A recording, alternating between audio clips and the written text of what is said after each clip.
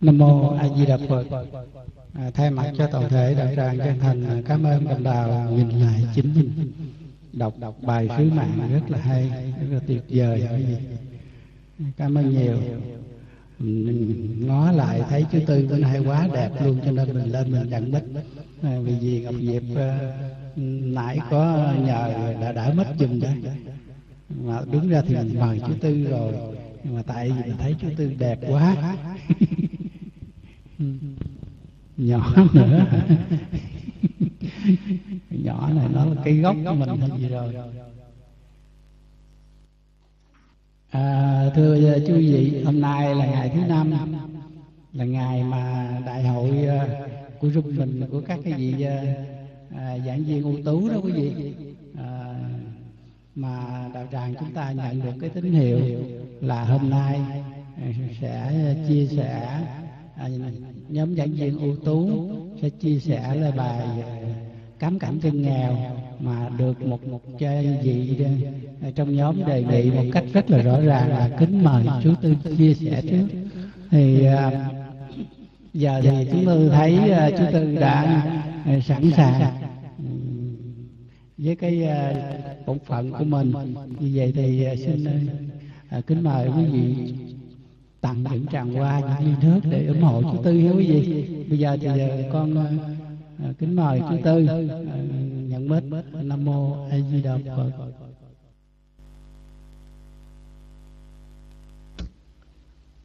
Nam mô Bổn sư Thích Ca Mâu Ni Phật. Nam mô Di Đà Phật. Xin uh, kính chào toàn thể quý đệ vị. Anh giới thiệu mà tôi mắc cỡ quá. Anh nói là cái nhóm mà chia ra gì giảng viên ưu tú. Nếu anh vậy nghĩ anh à, giới thiệu chúng tôi và nói là đây là nhóm giảng viên luống tuổi thì nó đúng hơn cái chữ ưu tú anh nào luống tuổi huốt à luống tuổi. Rồi cái nhất cái thứ hai tôi khen anh hay quá bữa nay anh hay thiệt à. Mới đầu giờ vô là cái anh à, có rớp làm anh đủ vốn rồi đó à, nhiều đủ vốn à. à mặc dầu cái lúc anh nói anh cũng hơi hay ho ok đúng là hay ho. À, kính thưa quý vị thì à, giống như là à, đồng đạo trưởng nhóm của chúng tôi giới thiệu à, thì hôm nay tôi mở màn bằng cái bài cám cảnh dân nghèo. Có bài nào vui không? Mà ông bắt tôi chia sẻ cái bài nào khổ nghèo buồn không à? Khổ vậy đó. Cám cảnh dân nghèo. Tức là cái thấy dân mà cái tâm tư của Đức Thầy thấy thương xót quá đi. Cám thì tức là cảm thấy mà mình thương cái cảnh đó, là thấy cái cảnh của dân nghèo mà nó Ngài rất là buồn. Ừ. Bài này Đức Thầy viết vào ngày 28 tháng Chạp năm Kỷ Mão. Tức là chỉ còn có hai ngày nữa là hết năm rồi. Nếu mà năm tháng đủ còn nếu mà tháng thiếu thì chỉ còn một ngày nữa là qua tới năm năm tỵ rồi. Mão thìn chứ qua tới năm thìn. Và cái tựa đề này nó cũng là cái um, cái đại ý ngắn nhất tóm tắt nhất nói về nội dung của năm cái bài thơ tứ tuyệt này. Ừ, của đức thầy. À, chúng tôi xin à, bắt đầu quý vị theo dõi. À, sự góp à, chia sẻ của chúng tôi và sau đó xin mời quý vị cùng góp ý. Tết Tết cùng năm tháng hết mà, thằng bần công nợ chạy buôn ba, hẹn mai hẹn mốt, chờ khai hạ, con đòi áo tốt, rối chàng ta. Thật ra cái bài này đó, những anh em trẻ sau này nghe cái cảnh này thì không có thấy gì chưa nó có vẻ nó trừu tượng quá. Có vẻ nó không có ở ờ, chưa từng thấy. Nhưng mà cái lớp tuổi cỡ chúng tôi với hồng quang này kia đó thì chứng kiến rồi. Quý vị còn chưa từng thấy mà đói. Chúng tôi đã từng sống trong cái thời kỳ mà đói chết mấy triệu người ở ngoài miền ngoài miền bắc cũng như là những cái cảnh mà bây giờ thì cũng có lục, có lũ, có lục. Nhưng mà nó cũng không có cơ cực giống như ngày xưa. Vì đời sống hồi xưa, sống dưới cái chế độ của thực dân pháp nó bị rất là khắc khe khổ khổ cực lắm. Ừ. bóc lột tận xương tủy mà. Cho nên bây giờ thôi, đi vào cái bài này ha. Tết tết cùng năm tháng hết mà. Hai cái chữ tết liền với nhau. Tức là hết tết này rồi tới cái tết khác. Là ý nghĩa là gì? Tết có nghĩa là cùng năm cùng tháng. Hết năm hết cái cái cùng năm đó tức là hết tháng của một năm rồi. Tết Tết cùng năm tháng hết mà. À, Tết là cái cùng năm nó sắp qua một cái đầu năm mới là do cái một năm đó nó cái tháng chạp đó là hết rồi hết tháng rồi. À, có nghĩa là như vậy Tết tức là sau một cái thời gian 360 ngày ngày âm lịch của mình 360 ngày thì nó lại qua một cái thời kỳ nó gọi là Tết. Rồi 360 ngày khác nó lại đi tới cái ngày khác cũng là Tết cho nên là tới hoài đó Tết, Tết, Tết cùng năm hết tháng hết mà. Bần cùng công nợ à, thằng bần công nợ chạy bôn ba.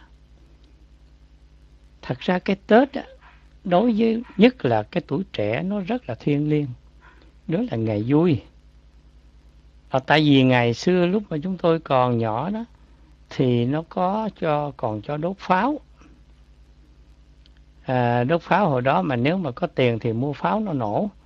Còn nếu mà nghèo thì lấy mấy cái ống tre đó rồi cái dùi cái lỗ rồi cái thì mới là, là, là mua khí đá để vô. Rồi cái châm thì nó sẽ nổ lớn lắm nhiều khi nó nổ một cái một cái một cái cái cái cái, cái tre đó nó bể luôn à. Thành ra người ta phải riềng nó nó nó chắc lắm. Nổ. À, thì có pháo nè. Rồi nhất là mặc quần áo mới nè. Rồi có tiền lì xì nè. Nhưng mà cái nghề này đó cái nghề này mặc dù nói là hết tết này tới tết kia nhưng mà cái phong tục của mình cái đây là cái cổ tục lưu truyền lại. Cái ngày này nó rất là đặc biệt. Trước ngày mùng một tết thì tất cả những công việc gì trong nhà coi như là nó hoàn tất sẵn sàng đón năm mới. Trong nhà thì nước, nước mà uh, lu thì đầy gạo. À, còn à, lũ, nước thì đầy lu à, rác rến này thì được quét dọn sạch sẽ. Nhà cửa thì ngăn nắp. Rồi từ trong ra ngoài rất là sạch nha. Rồi trên bàn bàn thì phà thờ à, chân bông hoa nhang đèn rồi trái cây này kia rồi. Nhất là mấy hộp mà thèo lèo là này kia rồi đó để trên đó rồi nhang mà mà trà mứt để trên đó. Để mà cúng ông bà rước ông bà rước ông bà về ăn tết với mình. Đặc biệt á, là như tôi nói là tất cả những cái dụng đầy hết không nghĩa là cái ngày chẳng hạn như bây giờ cái ngày 20 30 đó, ngày chót đó, mà nấu cơm á cũng không có múc gạo trong cái cái cái cái, cái hũ đó nữa. Mà phải lấy cái gạo để rời ngoài trước để chuẩn bị đó để mà cái đêm mà từ 30 cho qua giao thừa mùng 1 là trong nhà cái gì cũng đầy đàn hết vì người ta tin là những cái như vậy đó thì là cái nó tượng trưng cho năm mới mình đầy đủ. Thứ nhất là đầy đủ. Thứ hai là con cái này kia trong nhà từ 12 giờ khuya mà nó gọi là đón giao thừa rồi đó thì không có bị rầy bị rà bị nói bị mắng gì hết à cho nó vui vẻ để cho nó nó nó nó, nó trọn vẹn nó tốt hẳn cả năm chẳng hạn.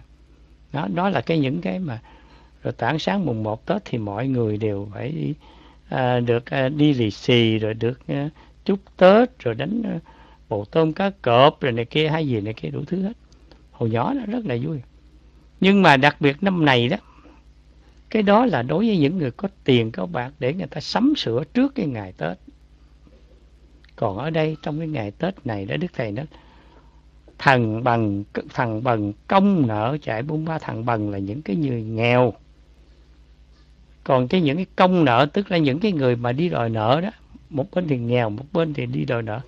Nó chạy bôn ba nó chạy tới đặng đòi tiền. Một bên đó thì là thằng cái công nợ này nó chạy nó đòi tiền. Còn cái thằng bần này thì là cái chạy đi dai đi mượn. Chạy lăn sang lông xóm để làm cái gì? Lễ mà gần tết rồi trước tết đó, là phải mua sắm nè. Cho con cái mình nó quần áo mới rồi phải có tiền mua bánh trái này bánh mứt này kia để mà à, cúng ông bà trong ba ngày tết này cái đó là cho nên là nghèo gì nghèo nhưng cũng phải đi dai đi mượn đủ thứ hết. À thì thằng bằng công nổ chạy bôn ba chạy bôn ba tức là chạy đôn chạy đấu đó để mà kiếm tiền đó. Hẹn mai hẹn mốt chờ khai hạ. Con đòi áo tốt rối chàng ta. Có những người mà công nợ này đi đòi nợ thí dụ như hết năm rồi bây giờ anh hết năm rồi anh trả tiền đi chứ. tới bây giờ đêm bữa nay là 28 Tết mà anh chưa chịu trả tiền. Thì không có tiền. Tới không có tiền để mua cho con mà bây giờ phải đi vay nợ bây giờ làm sao không có tiền trả đây? Cho nên hẹn mai hẹn mốt chờ kha. Thôi anh tình hữu anh làm ơn à, anh thông cảm cho tôi. Bữa nay là nhà tôi năm nay nghèo quá anh ơi không có tiền. Bây giờ đó là thôi đi anh ráng cho tôi ra ngoài. À, hẹn mai hẹn mốt chờ khai hạ. Tức là cho tôi ra ngoài gì mà khai hạ tức là hạ nêu đó ngày mùng 7 Tết đó. À, một hai mấy ba ngày Tết thì làm sao chạy đâu kiếm kiếm tiền trả anh đây. À, anh tin hữu anh làm ơn cho tôi. Nêu đi rồi sẽ thế nào tôi trả cho anh okay? rồi con đòi áo tốt rối chàng ta tức là một mặt thì cái người công nợ nó tới nó đòi đòi tiền. Phải hẹn mai hẹn mốt rồi chờ tới ra ra duyên còn một cái thì bữa nay 28 Tết rồi mà cái đứa con của mình trong nhà mình mình chưa có mai một cái quần áo mới. Bởi vì Tết là phải mặc cái bộ đồ mở quần áo nào mới nhất. À cho nó tốt đẹp nhất mà, tốt đẹp trong năm mà mà một một Tết là trọn năm tốt. Cho nên là rối rắm lắm. Một phần thì thiếu nợ, không có tiền trả. Một phần thì con đòi may áo áo mới để ăn Tết. Đó, rồi chính vì vậy đức thầy mới than là là là cái cái cái chạy bôn ba là như vậy. Mà cái cám cảnh dân nghèo là như vậy. Năm nay ăn tết thật là nghèo. Năm nay. Năm nay ăn tết thật là nghèo. Đức thầy nói một cách rất là đơn giản. Tại sao? Là tại vì trong năm kỷ mão này đó, là một cái năm mà bị một cái trận lụt rất là lớn. Mà miền tây của mình, hay nói chung là đồng bằng sông cửu long của mình người ta sống vào nghề nông chứ không phải giống như bây giờ. Mà mỗi một năm như vậy làm có mùa lúa, một lúa màu đó gọi là lúa lúa xạ đó. Chứ không phải là giờ gieo cái giờ lúa mà tu cấy bây giờ không phải. Tức là xạ thôi. Tức là một một năm làm mùa à, là là đủ ăn rồi, mùa. Mà cái mùa trong mong vào cái mùa đủ ăn này thì là tới cái mùa mà nước lên một cái là nước lên cái thì thường thường đó lúa nó đi theo nước nhưng mà nếu lên từ từ thì nó đi theo được. Còn này là lục. Thì nó ngập lúa thì chết hết rồi. Lúa mà nó bị ngập mà nhất lại nó chưa có, phải chia mà nó chơi chín rồi đó thì còn cố gắng mà gặt. Trong khi đó nó lên là mình gặt rồi mình phơi cũng được. Cái này lúa nó chưa có, đưa có bú sữa nữa. Nó còn chưa có thành hộp nó, còn mới lép lép thôi. Thì làm sao bây giờ nó, nước nó ngập, nó chết hết trên, hết hết trơn luôn. Thành ra cho nên chính như vậy mà đa số do sống nhờ cái nghề nông. Mà nghề nông như vậy thì có trắng tay cho nên đức thầy mới nói là năm nay ăn tết thật là nghèo. Sanh chúng u buồn nỗi nạn eo. Sanh chúng hay là chúng sanh tức là mọi người. Nhân dân trong cả nước như vậy đó. Gặp cái cảnh mà tai nạn như vậy thì họ rất là buồn buồn quá đi. À, trong nhà không không có tiền bạc để mà sắm sửa tết mà nợ nần thì nó đòi dân dân nó trèo trẻo nó đòi. Mà bây giờ thì không có mà cơm cơm gạo cũng có ăn. Làm sao bây giờ đây? Mà theo thủ tục của, của, của, của Tết là phải sắm sửa. Đứng trước cái cảnh này thì thôi. Nó cái nỗi nạn eo này nó nó nó nó đau buồn quá đi. Đồng khô lúa ngập coi sơ sát. Hy vọng rằng cái cuối mùa thì sẽ gặt lúa để trả nợ cho người ta mà cuối cùng bây giờ thì nó toàn là nước không à lúa ngập. Tức là là nước tràn bờ hết trơn hết trọi thành ra làm cho nó sơ sát sát sơ không còn không còn cái gì để mà à, hy vọng nữa hết. Cảnh đói buông lung nổi dạt bèo. Thôi bây giờ là phó thác cho trời thôi. Không cách gì làm gì khác hơn. Cái đói đeo đói thì cũng đành chịu thôi phó thác cho nó mà bị đói bây giờ mình không có tiền làm sao bây giờ đây? Thiếu nợ mà bây giờ mà um, trước cái hoàn cảnh như vậy thì thôi phu thác cho trời thôi. Nổi dạt bèo tức là nó nó trôi dạt thế nào nó tức là đưa đẩy tới đâu cũng phải thành chịu thôi. Cam chịu thôi chứ không làm sao khác hơn. Nhắn nhủ khắp nơi hỏi một bài. Ba ngày xuân nhật bởi nơi ai? Rượu trà cờ bạc ôi phung phí chẳng biết lễ xưa của ai bài cái cảnh đói cảnh mà không có lúa ăn nợ nần chồng chất không sắm sửa mà lại có một cái điều là Tết là phải có đốt pháo, phải có ăn nhậu, phải cờ bạc. À, đó mấy cái ngày đó ngày vui mà, cực khổ gì cả năm đi nữa thì ngày đó cũng phải ráng nhậu dầu có một sĩ cũng vậy hay là hai ba sĩ cũng vậy. Rồi có tiệc tùng thì mình có thịt thà hay gì có tiền mua, không có thì cũng có mấy con khô cá sặc hay gì đó nè hay là mấy cái trái cốc trái, trái ổi gì đó cũng cũng là là, là sai xưa là, là trong cái trong những cái ngày đón giao thừa tới trong ngày tới tới đó. Thành ra thành ra đức thầy mới nhắn thấy như vậy đó. Cái cảnh quá đen tối như vậy nhắn nhủ khắp nơi hỏi một bài. Tại sao? Ba ngày xuân nhật bởi nơi ai ai mà bài ra ba cái ngày xuân nhật này nè? Mà phải có những cái như cờ bạc rượu trà hay là đi uh, đủ thứ hết. Là ai bài ra cái lễ gì nó cũng là một cái ngày bình thường giống như những ngày khác hết ngày này qua ngày khác thôi. Hết năm này qua năm khác thôi chứ đâu có gì lạ đó mà ai mà bài ra vậy? Vì bài cái thông lệ như vậy, cho mọi người xung quanh đều như vậy thì mình cũng phải chạy theo cái trào lưu đó. Cho nên chính vì vậy mới là cái khổ sở. Mà cái đã nghèo rồi mà tới dai tiền dai tiền mà dai tiền cờ bạc thì nó nặng lắm. Đó, thành ra thầy thấy trước cái thảm cảnh đó thầy hỏi thì chứ không biết. Ba cái ngày này đó, ba ngày xuân nhật với, thường thường mình nói ba ngày tết mà, thầy nói ba ngày xuân nhật bởi ai mà lại mà phải có cái vụ mà rượu trà nè tức là tiệc tùng nhậu nhẹt nè cờ bạc đánh bài đánh bạc nè. Bầu cua cá cọp cũng là một một cái đánh bạc.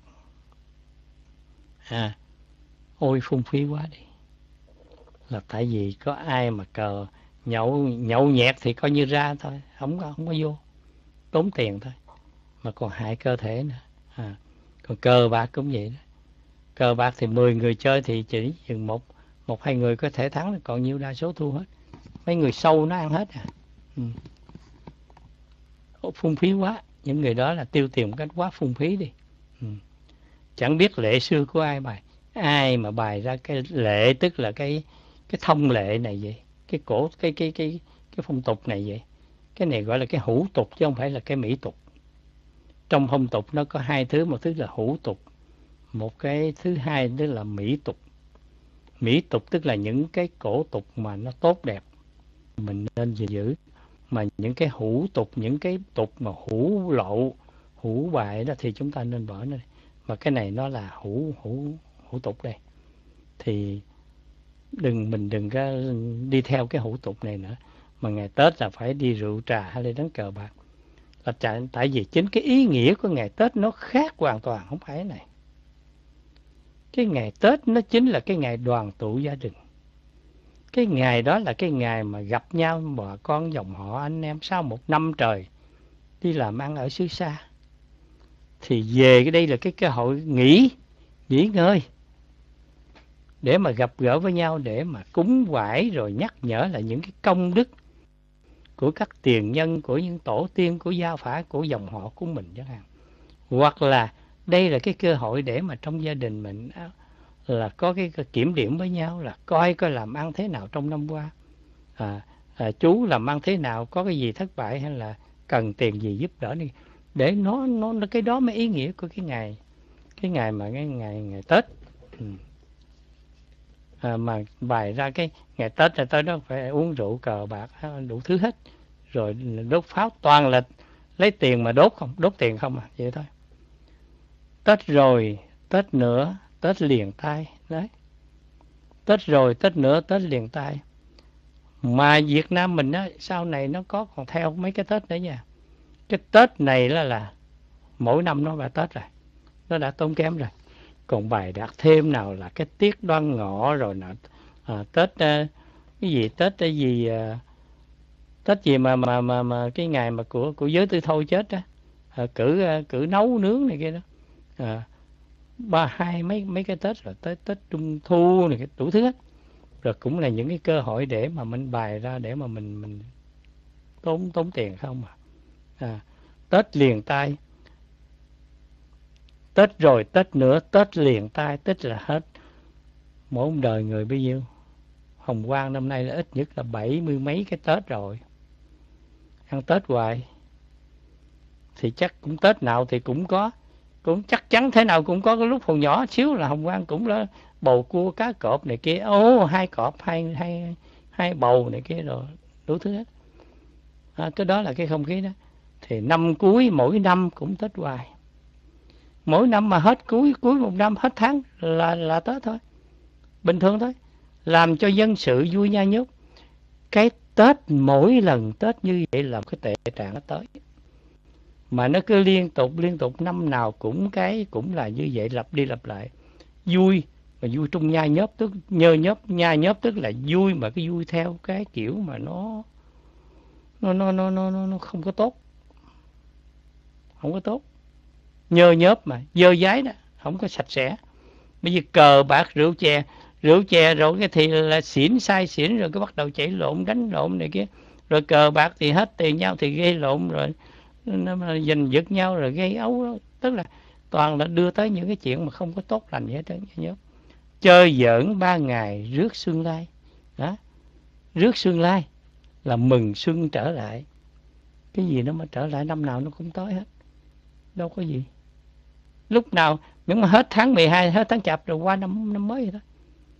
Mà nó có mới cái gì? Mỗi một ngày cũng không phải nữa. Là cái vòng tròn, cái xoay của một cái cái quả địa cầu của mình thôi. Nó xoay tới hết một vòng là nó trở lại cái khác vậy thôi. Xoay quanh mặt trời vậy thôi. Là nó là là tết thôi, vậy thôi.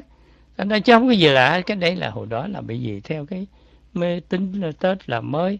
Còn cái, đúng ra cái chữ tết này là cái chữ tiết. Tiết đó chẳng hạn như trong những năm mà nó cái tiết tức là mỗi một cái cái đốt của một thời gian này. tiết lập thu tiết lập đông tiết lập hạ gì tùm lum hết. Đọc trại trại rồi thành tết. Tết nguyên đáng tức là đầu. Nguyên đáng là đầu đứng đầu. À, thành ra là đầu của mùa xuân. Thành ra người ta gọi là tết nguyên đáng thôi. Đấy. Chứ thật sự cái đó lại nó không không không có gì mà nó có gì thiêng liêng. Mà cái này đừng có đổ thừa nhiều người nói đổ thừa cái này của tao nha chúng ta nhớ là cái câu chuyện mà bánh trưng bánh dày của cái thời mà vua vua hùng vương đó. thì chúng ta mới biết cái này là tết của việt nam của mình chứ không phải là tết của tàu đâu không có tàu đâu ừ, bánh dương trưng bánh dày tượng trời à, bánh trưng thì vuông rồi bánh bánh à, bánh bánh, bánh dày à, bánh trưng bánh dày tức là tròn và vuông trời tượng trưng cho trời và đất à, tức là cái liêu lan hay gì đó tôi nhớ lại khá vậy đấy đó là cái phong tục của Việt Nam mình. Ừ. chơi giỡn ba ngày rước xương lai. Mới có ba ngày thôi mà nợ nần nó chồng chất rồi. Nếu mà một tháng cái kiểu giống như hồi xưa học cái bài, hồi xưa mà mấy cái ông già già, bây giờ hồi xưa ông tháng giêng là tháng ăn chơi, tháng hai cờ bạc, tháng ba hội hè gì đó. Toàn là mà 12 tháng là toàn là ăn chơi không à. Không có cái tháng nào mà làm việc hết đâu chơi giỡn ba ngày rước xuân lai. Chơi mà, ba ngày tết nhầm nhò gì? Làm cả năm, ba ngày tết nhầm nhò gì? Ba ngày đó nó thiêu rụi cả một cái năm công phu, công trình của mình làm hết tiền hết bạc hết, không còn. Lòng ta cảm thấy nỗi u buồn. Lòng ta ở đây chữ ta là đức thầy. Muốn chỉ cho cái lòng, cái tâm trạng của đức thầy. Thấy mà dân chúng, quý vị thử nghĩ đi một cái người cha như là một người cha trong cái gia đình. Mà mình thấy con cái của mình trong nhà đứa nào đứa nấy nó nghèo sơ, nghèo sát, không có tiền bạc mà nợ nần nó nó nó nó nó thiếu thốn rồi người ta đòi tới đòi lui, người ta mắng, người ta nhiếc rồi con cái nó không có quần áo mặc này kia rồi như vậy, có vui được không? Thì cái lòng từ bi của vị Phật Đức Thầy lòng ta cảm thấy nỗi u buồn buồn quá thấy trước cái cảnh đó rất là buồn. Cái này cũng là cái khổ của chúng sanh. Ngay cả ngày Tết người ta nói vui nhưng mà đối với Đức Thầy rõ ràng chứ. Những cái cảnh từ giờ chúng ta diễn tả đó, đó là cảnh khổ chứ đâu có cái cảnh nào vui đâu. Mà người ta cho rằng Tết là vui đó là khổ thôi. Lòng ta cảm thấy nỗi u buồn suy xét việc đời lụy muốn tuôn thấy cái hoàn cảnh xã hội thấy cái cảnh sống của chúng sanh trong chúng con cái trong, trong làng nhân dân của ta lúc lúc bây giờ như vậy đó. Đức thầy muốn khóc thôi. Đức phật chư phật mà còn muốn khóc. Quý vị nghĩ coi. Cái này là cái cái cái xúc cảm xúc này đó buồn này đó không phải là cái buồn của thất tình lục dục. Mà cái buồn này là xuất phát từ cái tâm từ bi cũng như mình lo mình mưu toan cái này nữa, thì đó là cái nghiệp. Còn đức thầy hay các chư phật thì lưu lo toan của các này là làm sao cho chúng sanh được hạnh phúc. Hai cái cái tâm của mình động chạy theo cái vọng tưởng. Còn các ngài, cái tâm của ngài cũng động, cái chân tâm cũng động, nhưng mà động vì lòng từ bi. Hai cái nó khác nhau là gì?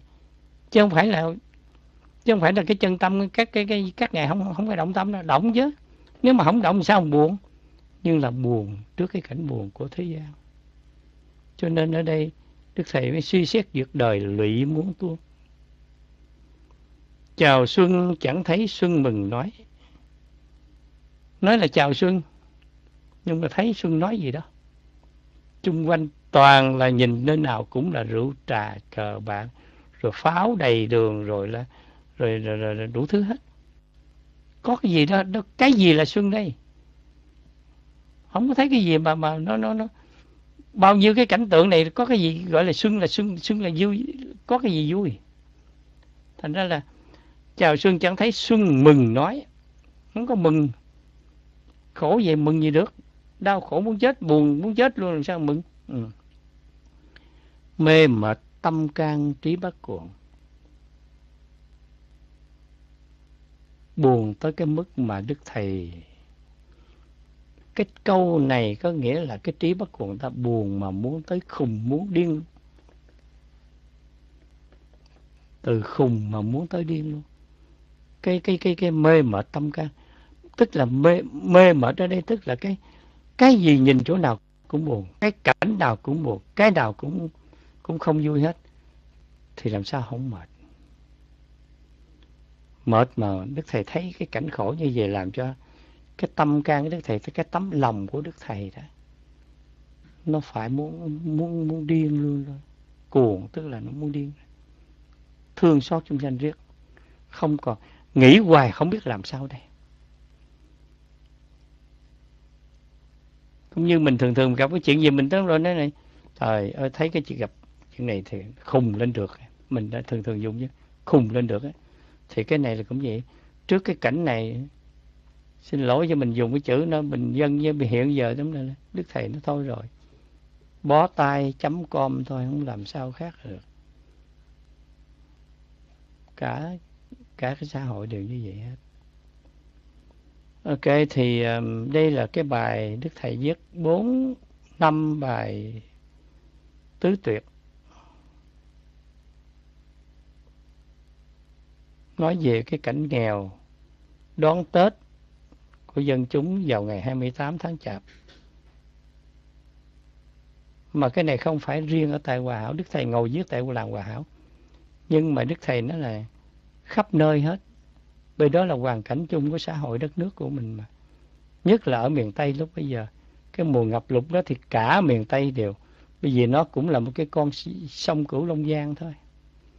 Nó xuống. Mà nhiều khi giống như bây giờ đó.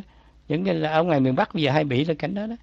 Lâu lâu cái nó, nó, nó, nó, nó mở cái gì đó. Mở mấy cái cảng gì cái mấy cái đập gì nó ào xuống một cái là dưới này là là bị thôi bị lục thôi cho nên là thấy trước cái cảnh này nó có thể rất là đau buồn ok thì à, đại khái nhìn cái, cái đây là một cái bức tranh ngày tết vào năm kỷ mão cuối năm kỷ mão sắp tới xuân tân tỵ. Cái bức tranh này vẽ lên mình thấy là toàn là nước mắt.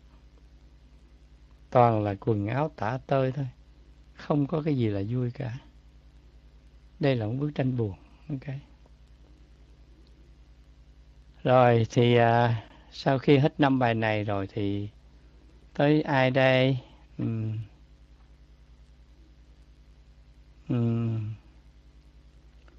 À, cái gì? Nếu thấy khỏe chú Tư chia sẻ tiếp đoạn đầu bài 29 tháng chạp.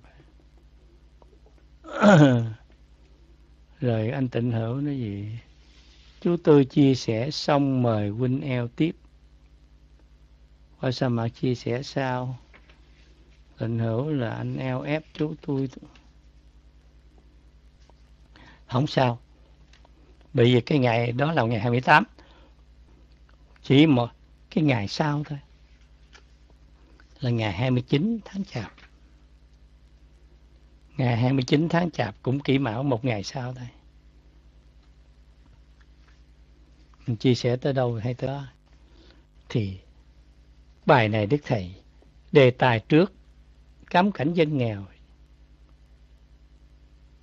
sau khi viết năm bài xong, đức thầy nghĩ là chắc có lẽ là mới tả cảnh thôi.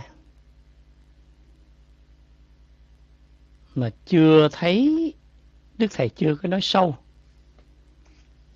về cái ý nghĩa của ngày tết cũng như là cái hoàn cảnh của đất nước của mình. Đây là cái cảnh mà ngập lụt thôi nha. Chứ chưa diễn tả tới cảnh khác, cho nên đức thầy mới viết thêm cái bài 29 tháng chạp. Bước tới hùng ca bước tới hoài. Đạo đời quỷ bán mặt tình ai? Cố chí nhiệm màu truyền diệu pháp, bởi vì cốt nhục cũng hoài thai. Bước tới hùng ca, bước tới hoài. Cái hùng ca ở đây đó, Đức Thầy dùng cái chữ hùng ca, đây là chỉ cho những cái lời giáo lý, những cái bài giáo lý của Đức Thầy. Cái mục đích chánh của Đức Thầy là lâm phàm để mà lập đạo cứu đời cho nên dầu trước nghịch cảnh gì đi nữa đó Đức Thầy cũng, cái nhiệm vụ Đức Thầy cũng không thể nào mà nể hà, không có thể nào mà bỏ qua, không thể nào mà chểnh mãn được hết. Cho nên nói là gặp bất cứ trong cái hoàn cảnh nào cũng đi tới, đi tới, tiến tới. Trong cái công vụ, cái công cái cái cái cái, cái sự nghiệp mà cứu đời của Ngài đó. Bước tới hoài, không có điều đầu hàng đâu. Bước tới hùng ca, bước tới hoài.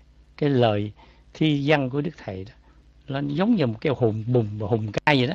Là khuyến khích khích lệ người ta đi tới đi tới đi tới dù gặp cái hoàn cảnh khó khăn gì đi nào đi nữa cũng đi tới ừ. đạo đời quỷ bán mặt tình ai trong cái công phu mà cứu đời của đức thầy đức thầy đang làm sứ mạng tôi xin nhấn mạnh nha đức thầy đang làm sứ mạng của đạo phật làm thực hiện cái mục đích của đạo phật Mục đích của Đạo Phật không phải là chỉ tu để khi chết được giải thoát. Mà cái giáo lý phải được ứng dụng ngay trong xã hội, trong hoàn cảnh xã hội đó để cho đưa cái xã hội đó được công bằng. Mọi người được sống trong an lạc và hạnh phúc. Cái đó mà là sứ mạng của Đạo Phật. Cho nên Chính vì vậy mà Đức Thầy nó là đạo đời quỷ bán mặt tình ai. Khi mà Đức Thầy làm cái công việc này đó, thì bên đạo gì người ta cũng đã kích. Mà bên đời người ta cũng nói, cái đạo đời ở đây có hai mặt. Người bên đạo đó, người ta thấy Đức Thầy ra đời, một cái người không có bằng cấp, không có học tu học ở đâu hết. Cho nên những cái người mà tu hành lúc bây giờ cũng mỉa mai chăm biếm Đức Thầy. Về cái phía bên đời đó, những cái người mà họ lợi dụng cái đạo để mà có quyền lợi để có cái tiền bạc chẳng hạn những cái người mà tà đạo những cái người mà thầy pháp thầy bóng thầy phù thầy pháp này cái lợi dụng đó đó thì bị đức thầy ra đời mà đức thầy tới với ta chứ đem đồ cúng chỉ mang theo theo hai chữ thanh lòng làm cho họ mất quyền lợi đi cho nên họ nói ra, nói vô, họ dèm, nói xỉm, đủ hết cả hai phía. Nhưng mà đối với đức thầy, mặc tình họ. Mặc tình ai? Mặc ai nói gì nói, cái sứ mạng của đức thầy là đức thầy cứ đi tới đi tới đi tới hoài. Không có không có lời. Không không có không có cái gì. Cố chí nhiệm màu truyền diệu pháp. Ai nói gì nói đi. Cái sứ mạng của đức thầy là lãnh lệnh thiên đình, lãnh lệnh của đức phật a di đà, lãnh lệnh của đức phật tất cả là lập đạo cứu đời. Cho nên mấy anh cứ nói làm gì làm khó dễ. Nhưng mà đức thầy nói là cái cái gì? À, khi mà là, là, chờ cơn gió tạnh sẽ lần bước ra đó.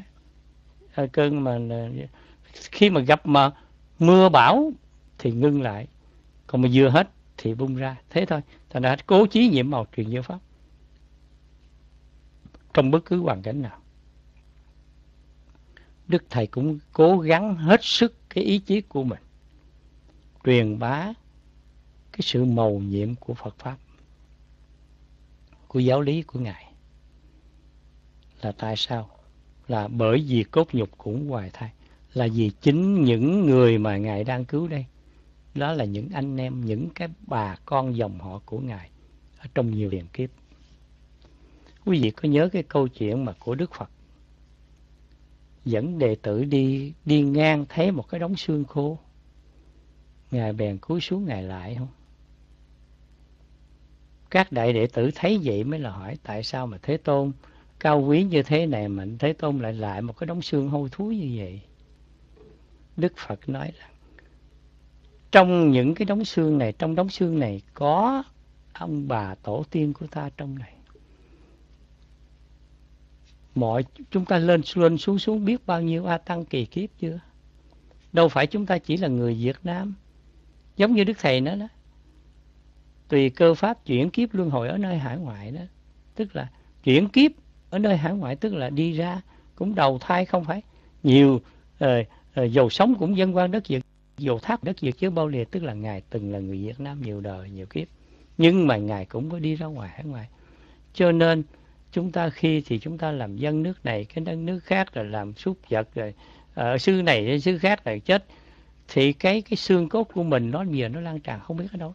Cho nên là đức thầy xác định rõ là dân tộc Việt Nam là cốt nhục cống hoài toàn là những bà con dòng họ của ngài này, có cùng chung một cái cái cái cái gốc của ngài thôi. Bởi vì cốt nhục cũng vậy thôi.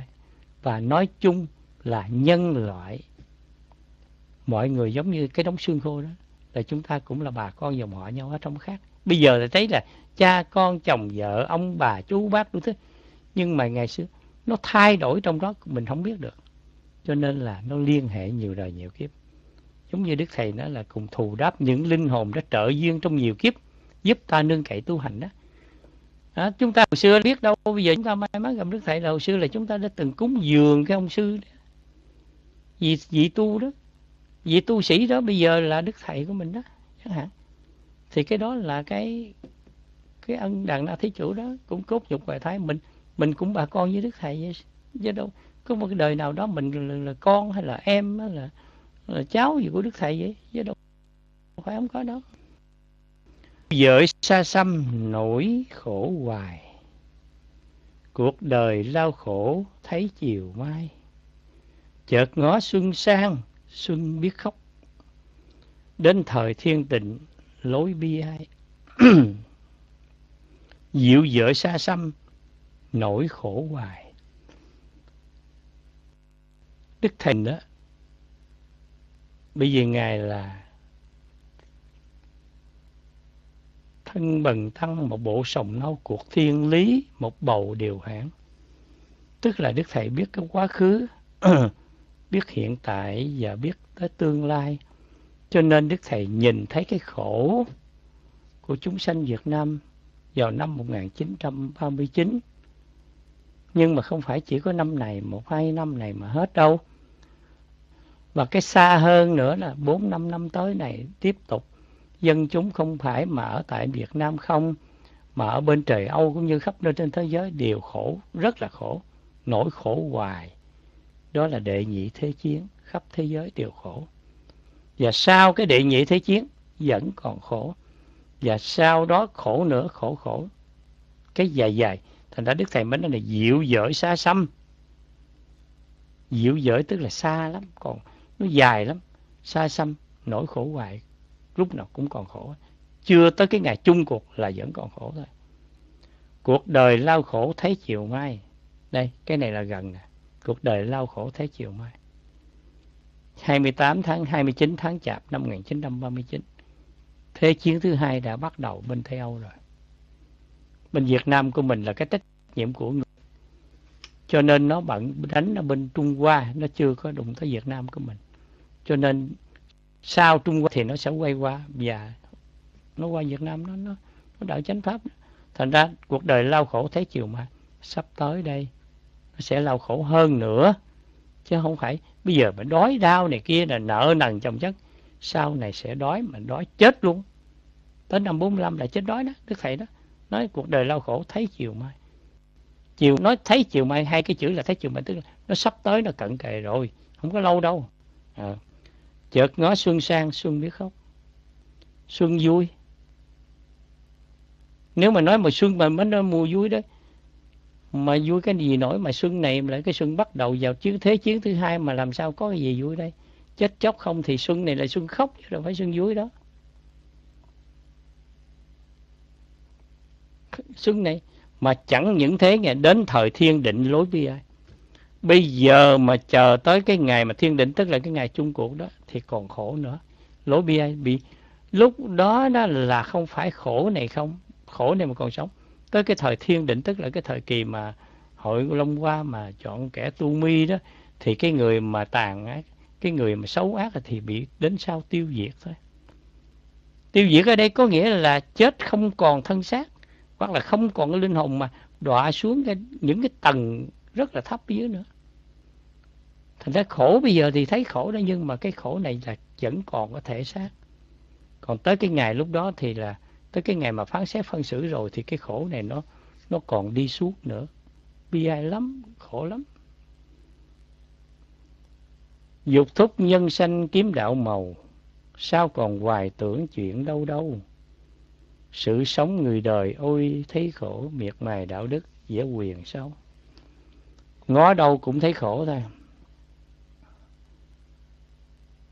Là tại vì mình sống mà cái kiểu mà mình không có biết, không có thức thời không hiểu đạo cho nên sống trong cái cảnh mà khó cực. Nếu biết đạo thì đâu có cờ bạc. Nếu mà biết đạo thì đâu có rượu chè.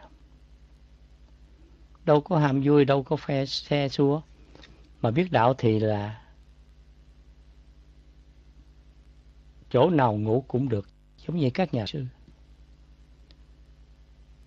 Nó là một cái thực phẩm, nó là một cái thuốc để trị bệnh đói, mình ăn cái gì cũng được ăn rau cỏ nó no cũng được. Muốn mà sẽ nhiều gạo thóc thì mình ăn rồi cái thì còn thức phẩm thì cái gì mình ăn? Rau cỏ mình luộc mình ăn cũng được. No thôi mà. Chứ đâu có đòi hỏi gì đâu. Nhưng mà người ta lo người ta chạy đua theo những cái thú vui trụy lạc khác ham thích cái chính mình diễn những ham thích của mình làm cho mình khổ. Chứ không biết con đường đó. Cho nên đức thầy mới là dục thúc nhân sanh kiếm đạo màu. Nhắc nhở mọi người mau mau đi. À, kiếm cái kiếm đạo đi. Tìm hiểu cái đời sống của một, một người hành đạo như thế nào. Sống thế nào để được an vui? Lạc đạo an bằng. Cái nghèo của đối với những cái người mà người ta muốn mà xa xí thì người ta khổ.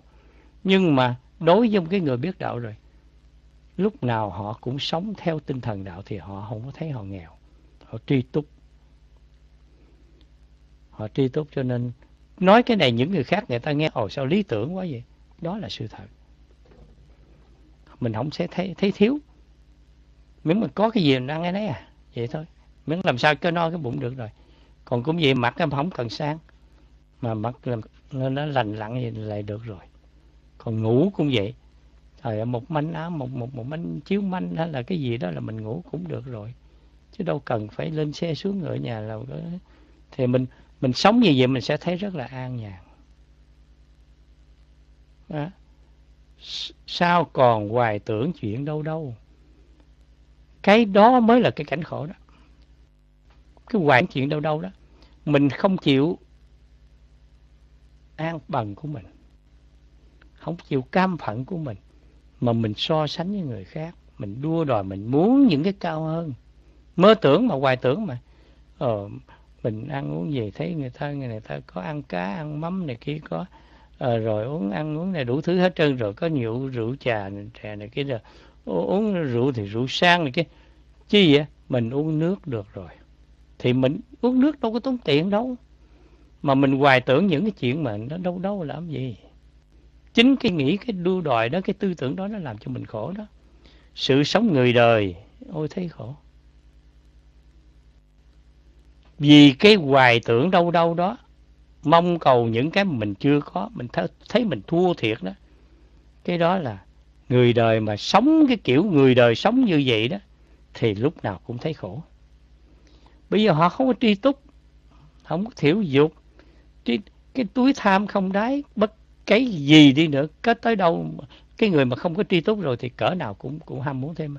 Muốn có 10 bây giờ không có đồng bạc nào thì muốn ồ, phải, cái tôi có được đồng bạc, cái tôi mua một tô, một một cái ờ, gói xôi tôi ăn ha. Có đồng rồi cái ôi ơi, mà ăn tối xôi mà phải được ba, hai đồng, mà ba đồng như tô hủ tiếu ha. Ờ rồi cái có được tô tiếu đấy. Rồi ơi, cái bữa tiệc kia nó toàn là ngon món ngon vậy là chính cái đó là cái khổ mình, sự sống của mình mà sống theo cái hoài tưởng mình không có cam, không có an phận thủ thường của mình đó, thì lúc nào cũng thấy khổ đó đức thầy dạy về diễn tả đấy. Giàu cũng khổ mà nghèo cũng khổ đó à, cái đó là cái khổ của thế gian là như vậy đó. À. miệt mài đạo đức dễ quyền sâu thôi bây giờ đó anh phải miệt mài đạo đức tức là anh sống theo tinh thần đạo đức đi. Sống theo cái tinh thần đạo mà tri túc từ nãy giờ mình mình mình bàn đi thì anh sẽ sống như vậy anh sẽ thấy cái an lạc mà mình sống an lạc mà người khác không có thể mà nè người ta không thể nào an lạc giống như mình mặc dù người ta coi thường mình. Người ta không tin. Sống trong cái cảnh mà ví dụ như uh, ngủ ở ờ, uh, sinh mà nói là ngủ mà ở dưới cái một cái gốc cây như vậy thoải mái biết hả? Họ che một cái liều dưới đó rồi họ sống giữa trong trong gió mát như vậy đó. Thần tiên đó. Mấy ông tiên là sống như vậy đó thế giới gì đó đó thành ra là cái này nè à, khi mà miệt mài đạo đức thì mình mới thấy cái vẻ quyền sâu của nó. Mình sống như vậy thì vừa cái tinh thần của mình sảng khoái mà cái thứ hai là mình cái thân tâm của mình nó sẽ an lạc. Là như vậy. Okay. hùng ca chuyển pháp kiếm tôi hiền. Địa thiên địa tuần quần chẳng vị riêng gian nịnh phản thần, ôi nhơ nhút dình lòng trung hiếu sách ghi biên. Hùng ca chuyển pháp. Hùng ca những cái là cái lời pháp của đức thầy, hồi nãy tôi nói đó. Đức thầy đã chuyển pháp ở đây, tức là cái chuyển pháp luân á, là đức thầy thị hiện lâm phạm để mà dùng cái, đưa ra những cái chánh pháp của phật ngày xưa đó, để mà đi rao truyền mở đạo và để tìm kiếm những người kiếm tôi hiền tức là những cái người mà tôi hiền là cái gì? Là sau này trong cái đời thượng quân thanh tức đó, thì kết cuộc của cái ngày hội long hoa đó là chọn những đấng tu hành công quả để ban cho xứng dự xứng ngôi người đủ thiện căn để giáo truyền đại đạo định ngôi phân thứ gây cuộc hòa bình cho dạng quốc chư bang đó là những tôi hiền đó thọ thánh chúa đó. À, hùng ca chuyển pháp kiếm tôi hiền. Là lừa ngài lâm phàm dùng cái phép mà để, để mà chuyển cái pháp luân tức là đem cái giáo lý để mà uh, truyền bá để mà kiếm những cái người hiền sau này. Kiếm tôi hiền. Ừ. sao còn uh, thiên địa tuần quần chẳng gì riêng? Thiên địa tuần quần chẳng gì riêng. Thiên địa tuần quần tức là cái mái trời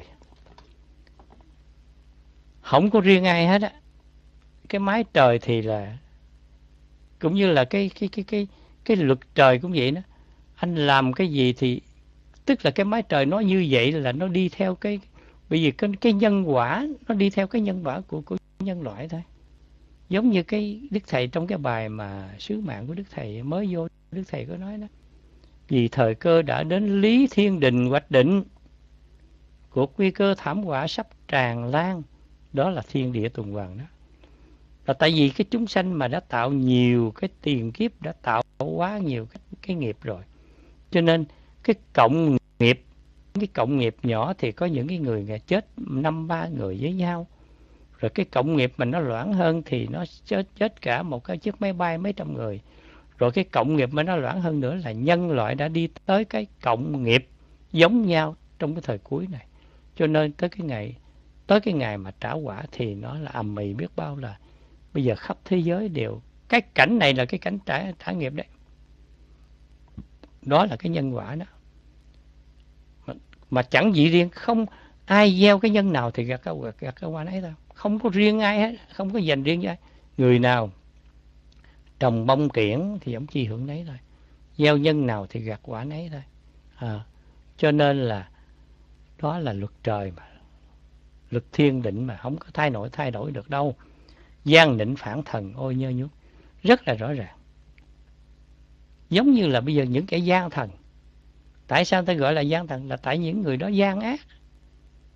Những cái đó là tham lam, những người là hối lộ, những kẻ đó tham nhũng, đó những cái người tàn gian ác. Tức là lừa đảo người ta, lường gạt người ta, hiếp đáp người ta để mà có đồng tiền, lợi dụng quyền thế. Thì những đó là những cái kẻ gian định phản thần là nó xấu là đương nhiên rồi. Nó là ôi nhớ ôi nhớ nhút, rất là nhục. Dơ dái lắm, nhục lắm. À. dình lòng trung hiếu, sách ghi biên. Ngược lại những người nào mà tròn trung, tròn hiếu. Thì là những cái người đó cho bây giờ họ cũng chết giống như giống như nhau nhưng mà sách sử danh bia, lưu sử danh bia người ta. Cũng như những người đó sau này, xác thân tứ đại thì mất đó nhưng mà đến hội trăm quan còn hiện được thì ra xác thịt có cần đâu những cái công quả của họ đóng góp, đó. dầu không dầu không gì, dầu ờ, dầu không siêu cũng đặng về thần như hai chữ trung quân ái quốc mà, đâu có mất đâu đó. chẳng hạn như bây giờ mình nói, thí dụ nói thế ông ờ, ông Trần Hưng Đạo đi, ông chết mấy mấy trăm năm rồi mà cái giờ nhắc tới nghe tới là ông là một đấng trung thần gọi là thánh trận ông Nguyễn Trung được gần đây cũng chết một trăm mấy chục năm rồi chẳng hạn. Mà cũng bây giờ cũng gọi nhắc tới ông là người ta cũng là ca tụng. Ông là một cái người có thể nói là một cái vị quan của Việt Nam mà được nhiều đền thờ nhất trên đất nước Việt Nam.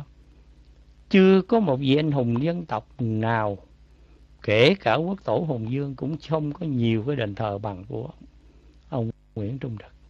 Đó đó là cái gương trung hiếu thì thì sách ghi mà ghi biên thôi, vậy thôi. Thôi tôi chia sẻ tới bài này được rồi. Thì bây giờ cái bắt đầu cái bài thứ uh, bài thứ năm của ngày 29 tháng chạp đó nghe qua qua sa mạc tiếp hả rồi ok qua sa mạc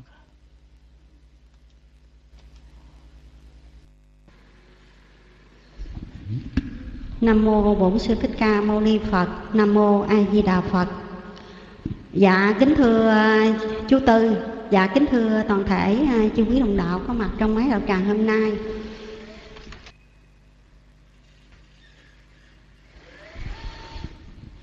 Dạ, à, để tiếp tục à, trong cái bài 29 tháng chạp à, qua sa mạc xin được tiếp tục à, cái đoạn mà chú Tư vừa chia sẻ.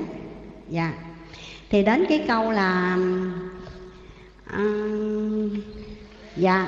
Thì à, chú Tư vừa qua đã chia sẻ tới cái câu là gian nịnh phản thần ôi nhơ nhuốc dình lòng trung hiếu sách ghi biên. Rồi mới đến cái câu là ghi biên những kẻ quá lương hiền. Và ghi biên những kẻ quá lương hiền.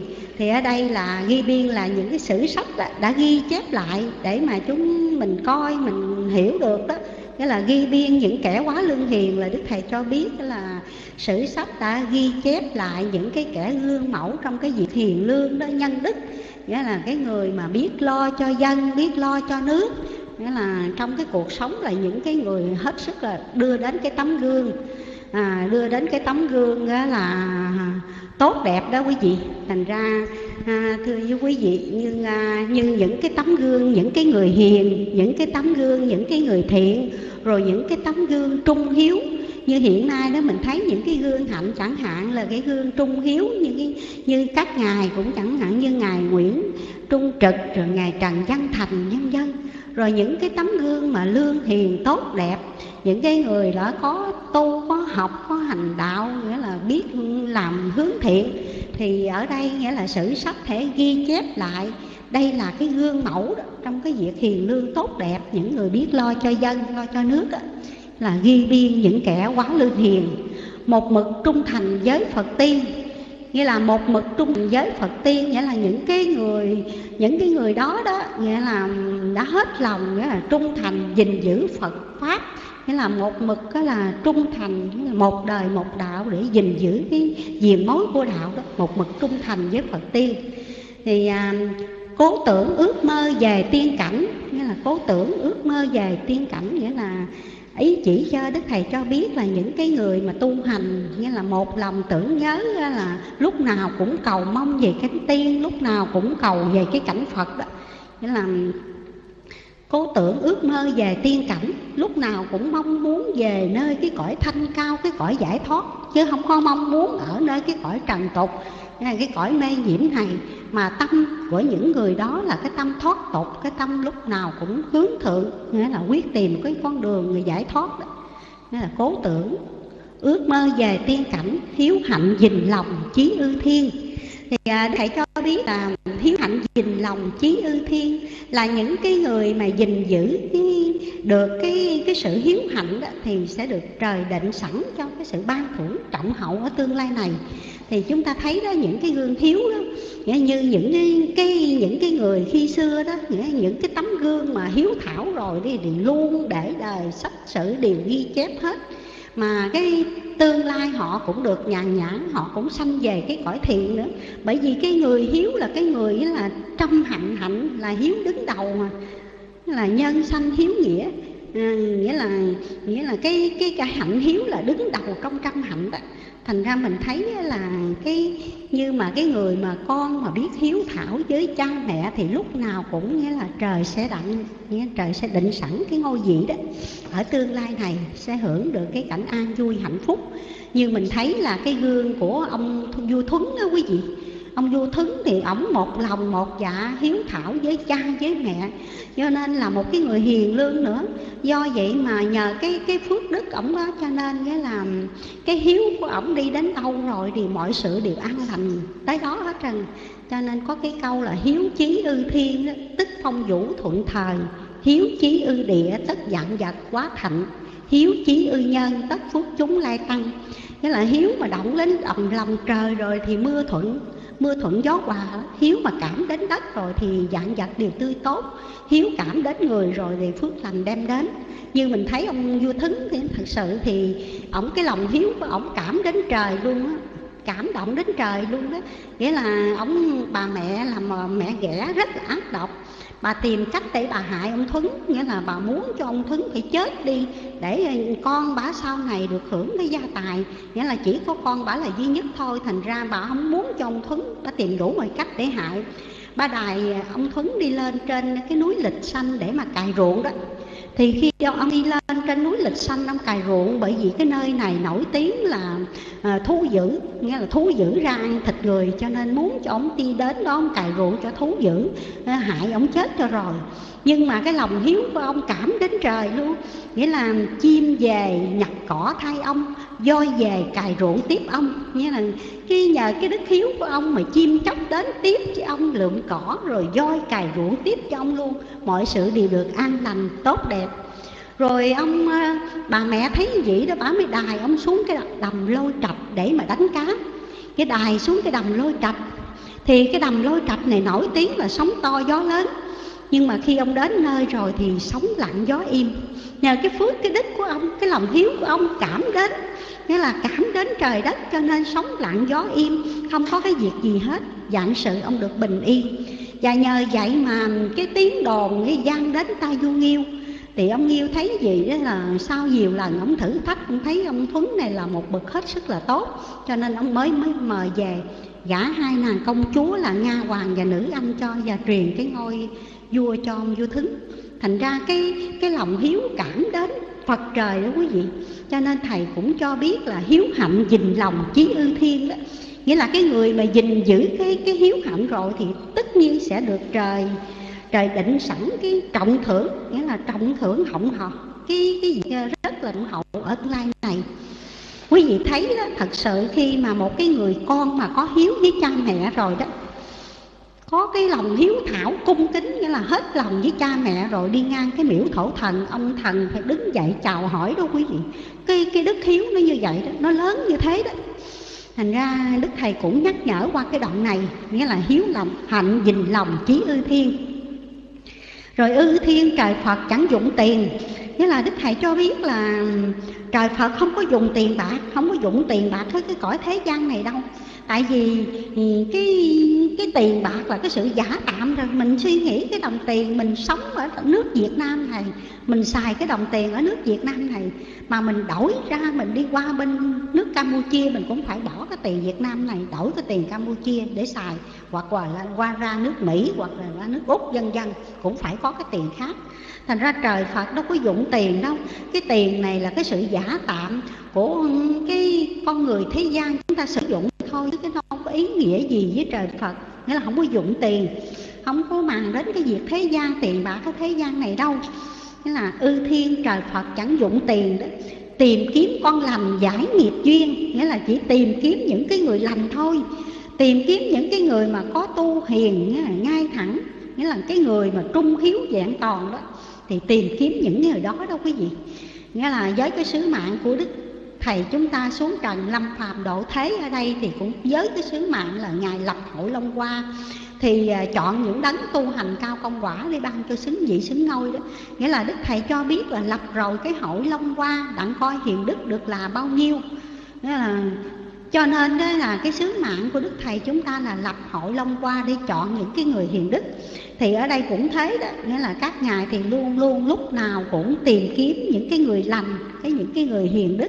Nghĩa là để giải trừ những cái quan trái, giải nghiệp duyên là mình giải trừ những cái ờ, cái duy nghiệp, những cái quan trái xấu ác ở nhiều đời, nhiều kiếp mình đã gây tạo trước kia đó thì à, à, những cái cái chướng nghiệp trong cuộc đời mình đó mình đã tạo rất nhiều rồi. Những cái quan trái không phải kiếp này không đâu mà nhiều đời nhiều kiếp về trước những cái quan trái mình đã là tạo đã gây đó thành ra hôm nay đây đó, mình tu hành rồi.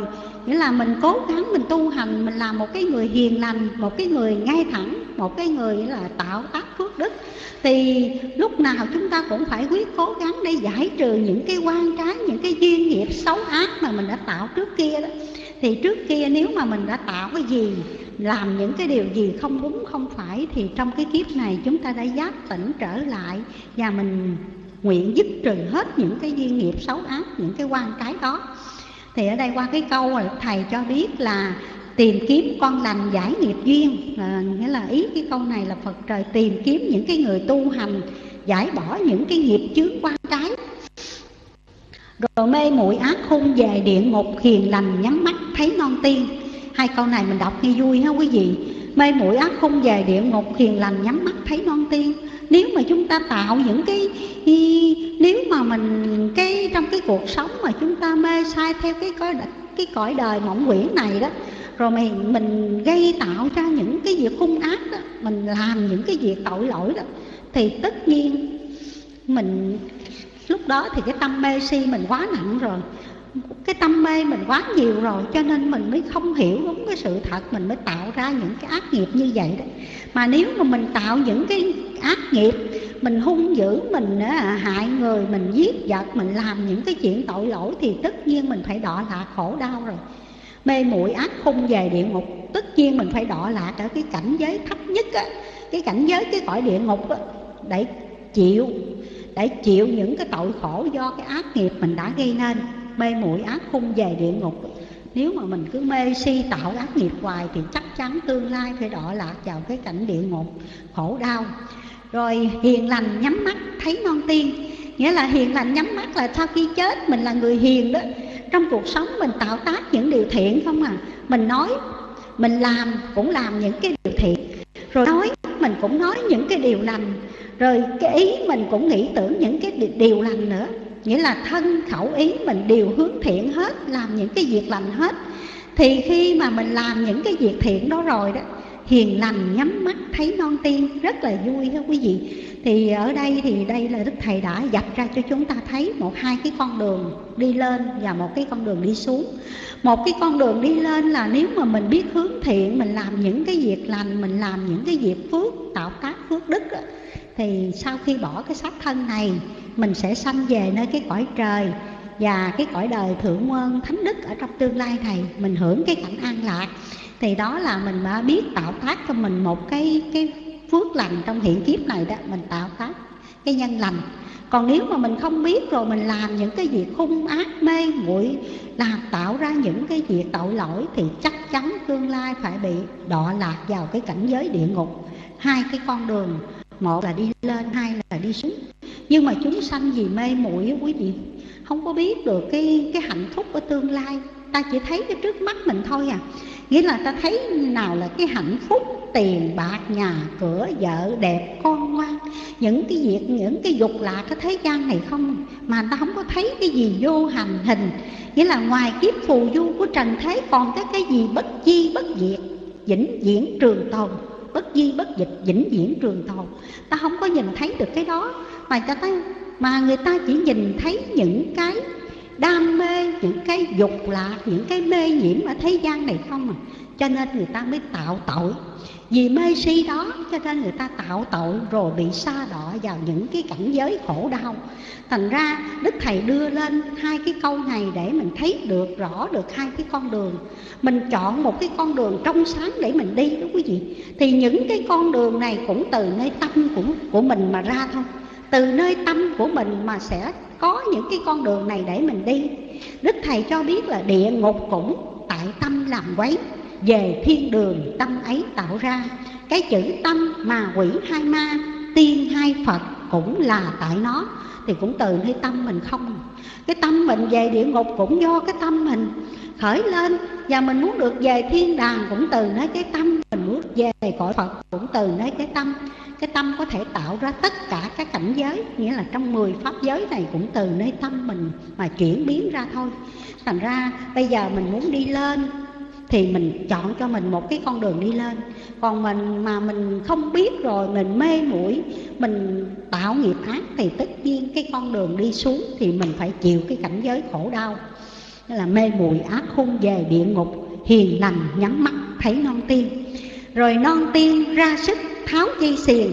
Non tiên ra sức tháo dây xiềng ở đây thì đức thầy cho biết là non tiên là chỉ cho cái cõi tiên đó, cái cõi thoát tục đó, gọi là non tiên non tiên ra sức, tháo dây xiềng. Nghĩa là tháo dây xiềng ở đây là ý chỉ cho là cái, nghĩa là cố gắng giải trừ những cái quan trái đó, những cái nghiệp duyên mà trước kia đã gây tạo đó. Giống như, nó giống như là nó xiềng xích, nó trói buộc mình đó.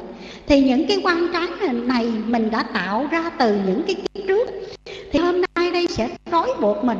Chẳng hạn như kiếp trước, mình làm cho người ta khổ đau mình làm cho người ta mất mát, mình làm cho người ta phải nghĩa là chết chóc tan thương gì đó, chân chân thì hôm nay đây nó sẽ trói buộc mình vào những cái quan trái đó. Mình đánh người ta một cái thì bây giờ mình cũng phải chịu một cái cú đấm của người ta.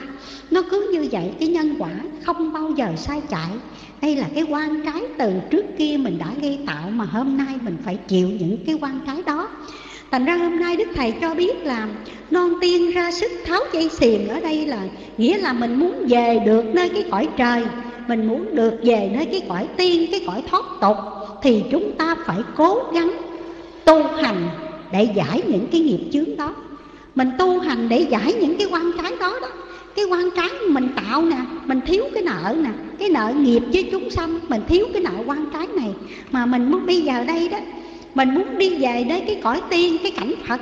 Khi không mình giật nợ mà đi cũng đâu có được, không quý vị không thể nào được. Được thành ra bây giờ mình phải tu. Mình phải tu, mình phải sửa, mình phải sám hối, mình phải ăn năn để giải trừ những cái chướng nghiệp đó. Và đồng thời chúng ta còn phải niệm phật nữa.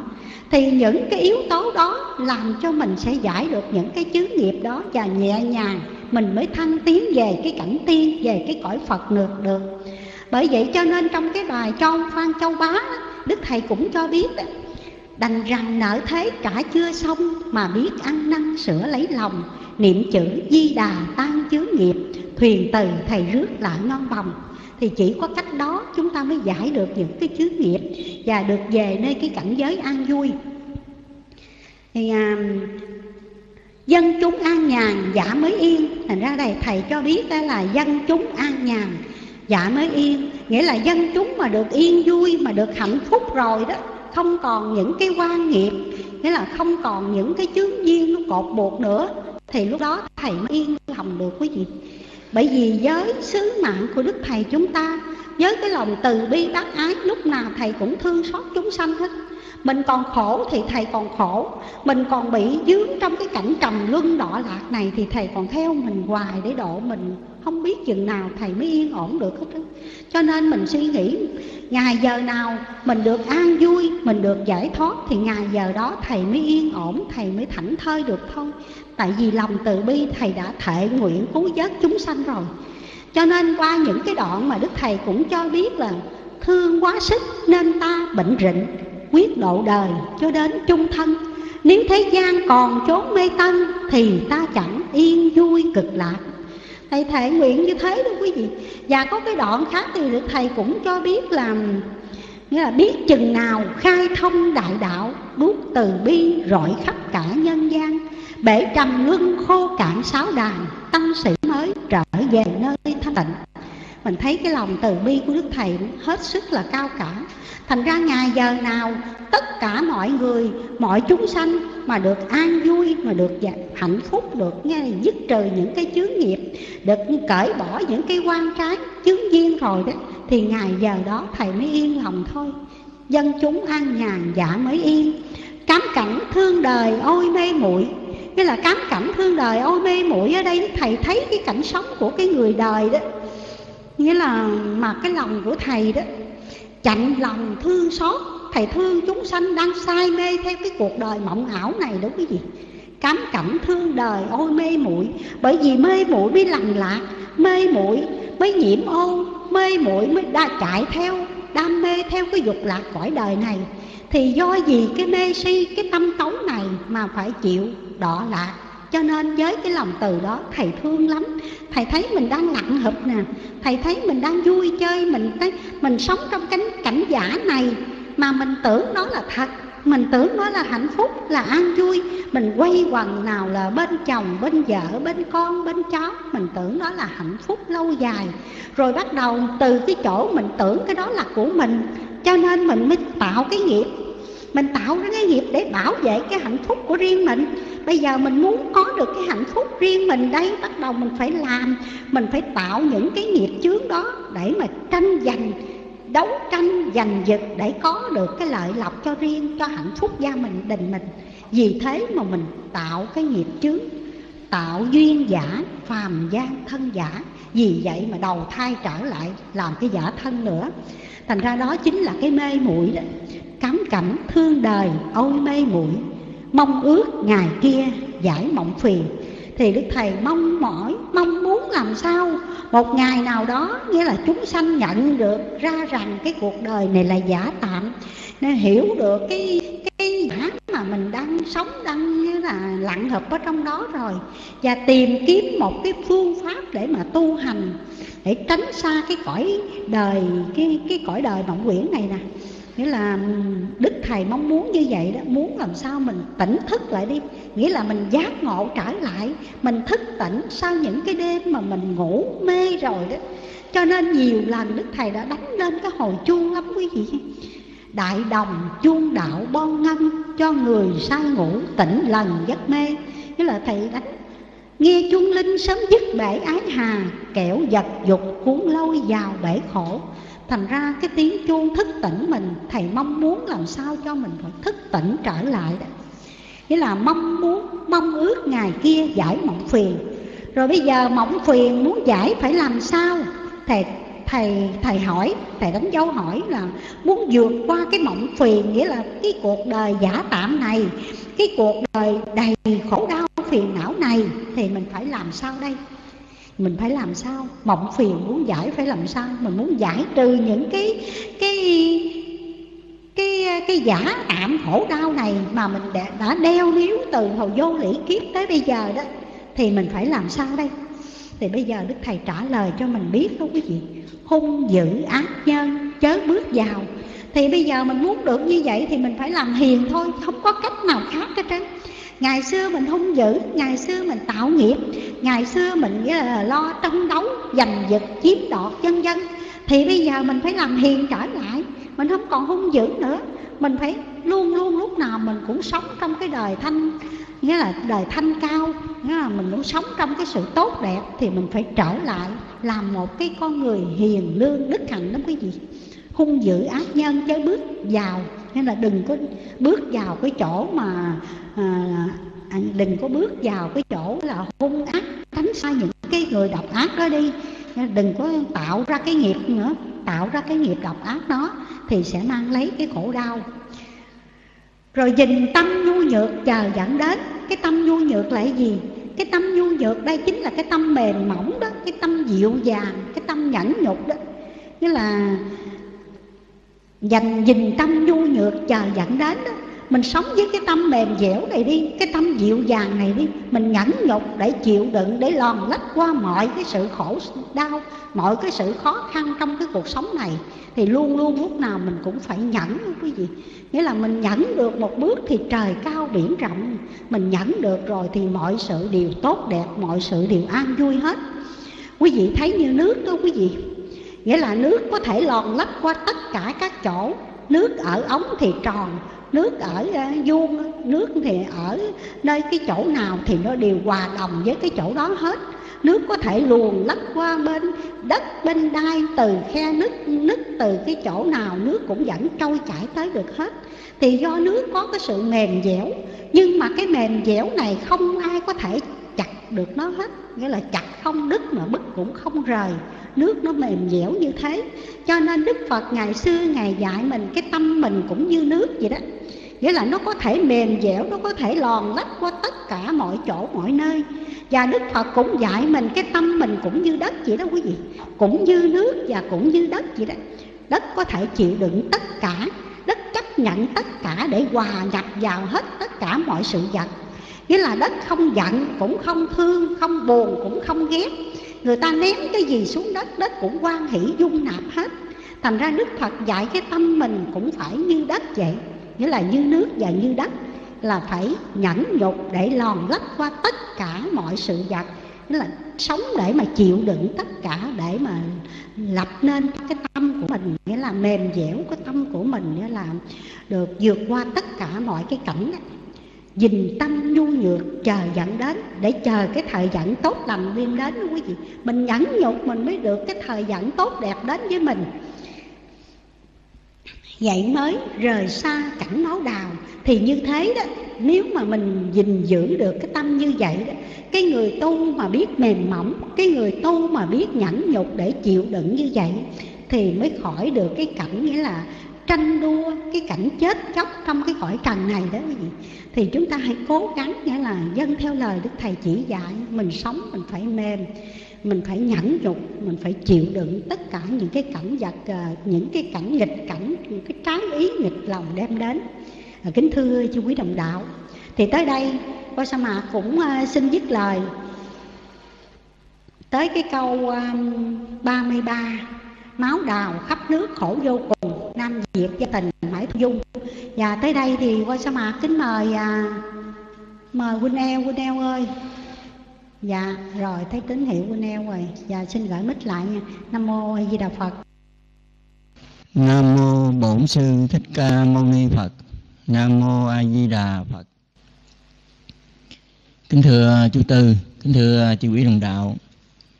À, thưa quý vị, chúng ta đã à, chia sẻ đến bài à, 29 tháng chạp. À, đây là bài thơ mà Đức Thầy đã viết vào ngày à, 29 tháng Chạp ở tại Tổ đình Hòa Hảo. Bài thi này thì cũng khá dài, tới 76 câu và nó gồm tất cả là 19 bài thất ngôn tứ cú. Thì à, vừa rồi chú Tư cũng như là qua sa mạc đã chia sẻ đến à, đến bài à, bài thứ à, thứ sáu không vậy? Sáu thứ thứ bảy. À, xin xin được tiếp tục chia sẻ. Máu đào khắp nước khổ vô cùng. Nam việt dân tình mãi thung dung. Chẳng lo tu tỉnh cầu phật thánh để nước đến chân mới nhảy đùng máu đào khắp nước khổ vô cùng. Máu đào tức là là là chỉ cho cái cảnh khổ à, cảnh chiến tranh cái cảnh mà người ta tranh đua hơn thua chết chóc diễn ra à, ở mọi chỗ mọi nơi trong đất nước Việt Nam. Khổ vô cùng là khổ thảm rất là khổ thảm. Má rào khắp nước khổ vô cùng thầy cho biết là cái cảnh khổ nó sẽ diễn ra khắp cả nước. Đâu đâu nó cũng có chiến tranh rồi đâu đâu cũng có giặc giả chém giết lẫn nhau. Nam Việt dân tình mãi thung dung. Nam Việt dân tình có nghĩa là dân tình, Nam Việt có nghĩa là người dân đất nước Việt Nam. Mãi thung dung, tức là mãi thờ ơ, không có ờ, không có quan tâm tới những cái cái sự việc như vậy. Dân thì, Nam Việt dân tình mãi thung dung là thầy cho biết là cái cảnh khổ nó sắp diễn ra khắp nước, mọi chỗ, mọi nơi ở đất nước Việt Nam mình mà người Việt vẫn vẫn thờ ơ, dường như là họ không có quan tâm tới à, chẳng lo tu tỉnh cầu Phật thánh. Chẳng lo tu tỉnh tức là chẳng chịu lo nghiên cứu học hiểu để mà thực hành theo những cái lời à, Đức Phật Đức Thầy đã chỉ dạy. Cầu Phật thánh tức là cầu khẩn Phật thánh tiên. Chẳng lo tu tỉnh cầu Phật thánh. Có nghĩa là Đức Thầy trách Đức Thầy trách cho dân tị Việt, Việt Nam dân Việt Nam Việt dân tình mãi thung dung đó, thầy trách là, là những cái người đó đó. Sao không chịu lo không có chịu lo mà mà cầu khẩn Phật trời để mà ban bố phước lành để mà vượt qua cái cảnh khổ để nước đến chân mới nhảy đùng. Để nước đến chân mới nhảy đùng có nghĩa là để sự việc nó xảy ra cái quả báo nó tới rồi đó.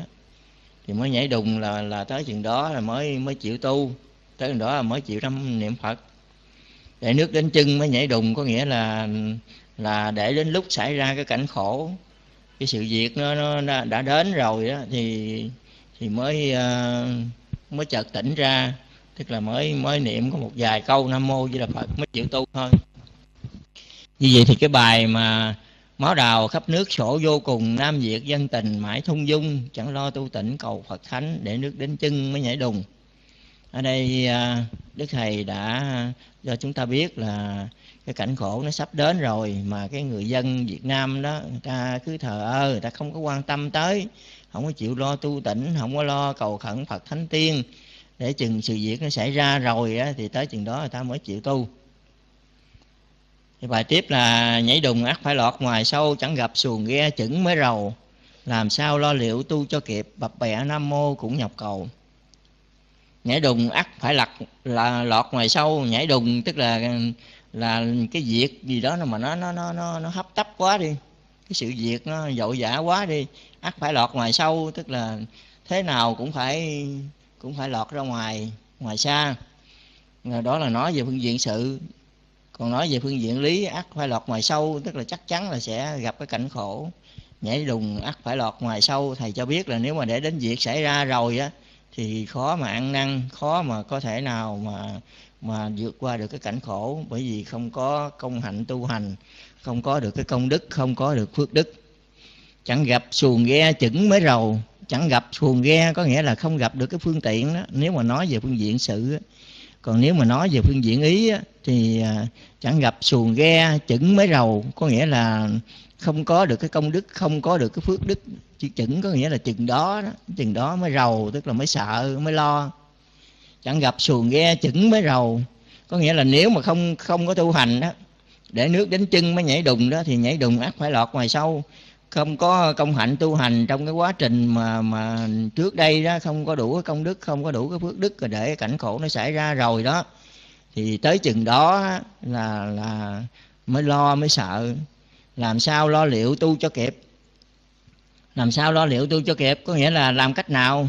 Làm cách nào để mà cái cảnh khổ nó xảy ra rồi mà mà tu làm sao cho kịp được?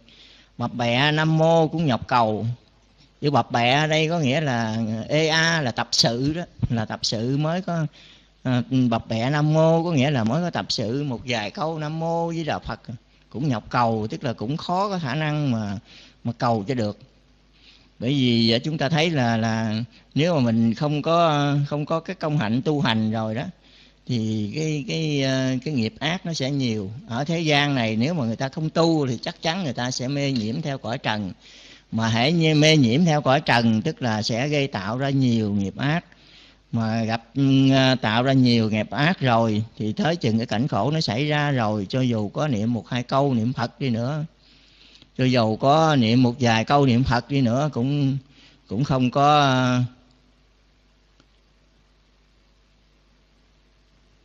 cũng không có thể nào mà đạt được cái kết quả. Bập bẹ nam mô cũng nhọc cầu.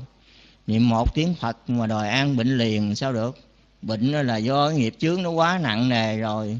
Phải có cái công hạnh là là là sửa tâm mà tu tâm, rồi phải có cái công hạnh là niệm phật. Có công hạnh là làm lành rồi này kia. Rất là rất là nhiều cái công đức, có phước đức nó mới giải qua, giải hóa được những cái nghiệp chướng của mình chứ còn niệm một tiếng phật mà đòi an bệnh liền làm sao? Rồi chậm lành chê phật ngạo tiên nữa. Niệm có một câu nam mô với đà phật mà biểu hết cái bệnh bệnh nặng như vậy đó mà biểu hết. Còn không hết còn chê, không phật xong không linh nữa thì thôi. Cái đó thì thì nó quá sai lầm. Bập bẹ nam mô cũng nhập cầu. Làm sao lo liệu tu cho kịp? Bập bẹ nam mô cũng nhập cầu. Rồi bài tiếp theo là nhọc nhọc cầu bệnh tật nỗi nào đâu đau khổ nhân sanh cảnh nước tàu. Trẻ nhỏ rã rời xa bố mẹ sao còn tranh đoạt mãn mồi câu? Nhọc cầu bệnh tật nỗi nào đâu nhọc cầu bệnh tật có nghĩa là khi xảy ra cái cái bệnh tật rồi thì khó có thể nào mà cầu mà đạt được. Nỗi nào đâu tức là có đạt được đâu. À, nhọc cầu bệnh tật nỗi nào đâu có nghĩa là gì? Có nghĩa là nếu mà mình không có chịu lo tu hành sớm á, không không có rèn sớm á, thì nó nó khó có thể nào mà đạt được cái kết quả. Khi bị bệnh tật khi gặp cảnh khổ xảy ra rồi thì cầu khẩn phật trời cũng chẳng có đạt được cái kết quả gì. Lao khổ nhân sanh cảnh nước tàu. Lao khổ nhân sanh cảnh nước tàu. Có nghĩa là đức thầy đức thầy khuyên mình nó khuyên cái người tu hành mình nó hãy hãy nhìn đi nhìn xem cái cái gương hạnh đó, hiện trạng xảy ra bên nước tàu đó dân tàu họ đang sống ở trong cái cảnh khổ cảnh khó khăn cái cảnh chiến tranh cái cảnh giành giật chết chóc. Thì họ sát hại với nhau. Lao khổ nhân sanh cảnh nước tàu. Trẻ nhỏ rã rời xa bố mẹ. Tức là cái cảnh chiến tranh chết chóc đó cha cha mẹ thì à, lạc con trẻ vợ xa chồng. Trẻ nhỏ rời xa trẻ nhỏ rã rời xa bố mẹ. Sao còn tranh đoạt mãn mồi câu? Sao còn tranh đoạt á? Có nghĩa là gì? Có nghĩa là tại sao mà mà mà cái cảnh khổ nó nó diễn ra như vậy đó? Nhìn thấy rõ ràng như vậy đó. Mà không lo, mà còn còn lo tranh đua, còn lo hơn thua, còn lo tạo những cái nghiệp ác như vậy. Còn lo tạo cái nghiệp ác gì mãn mồi câu mồi câu ở đây có nghĩa là là là chỉ cho cái cái công danh địa vị, chức quyền cái danh lợi trên cõi đời sao còn tranh đoạt mãn mồi câu? Thầy cho biết là hãy nhìn vào cái cảnh khổ của dân tộc nước tàu đi.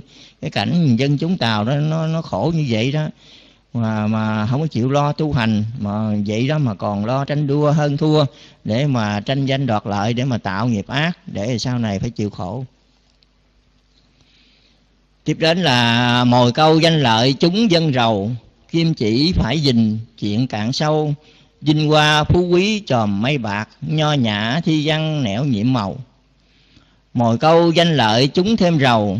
Mồi câu danh lợi có nghĩa là là danh lợi ở cõi đời này nó giống như là một cái miếng mồi câu nó nhử những cái người những cái người mà mà những cái người say mê theo danh lợi đó.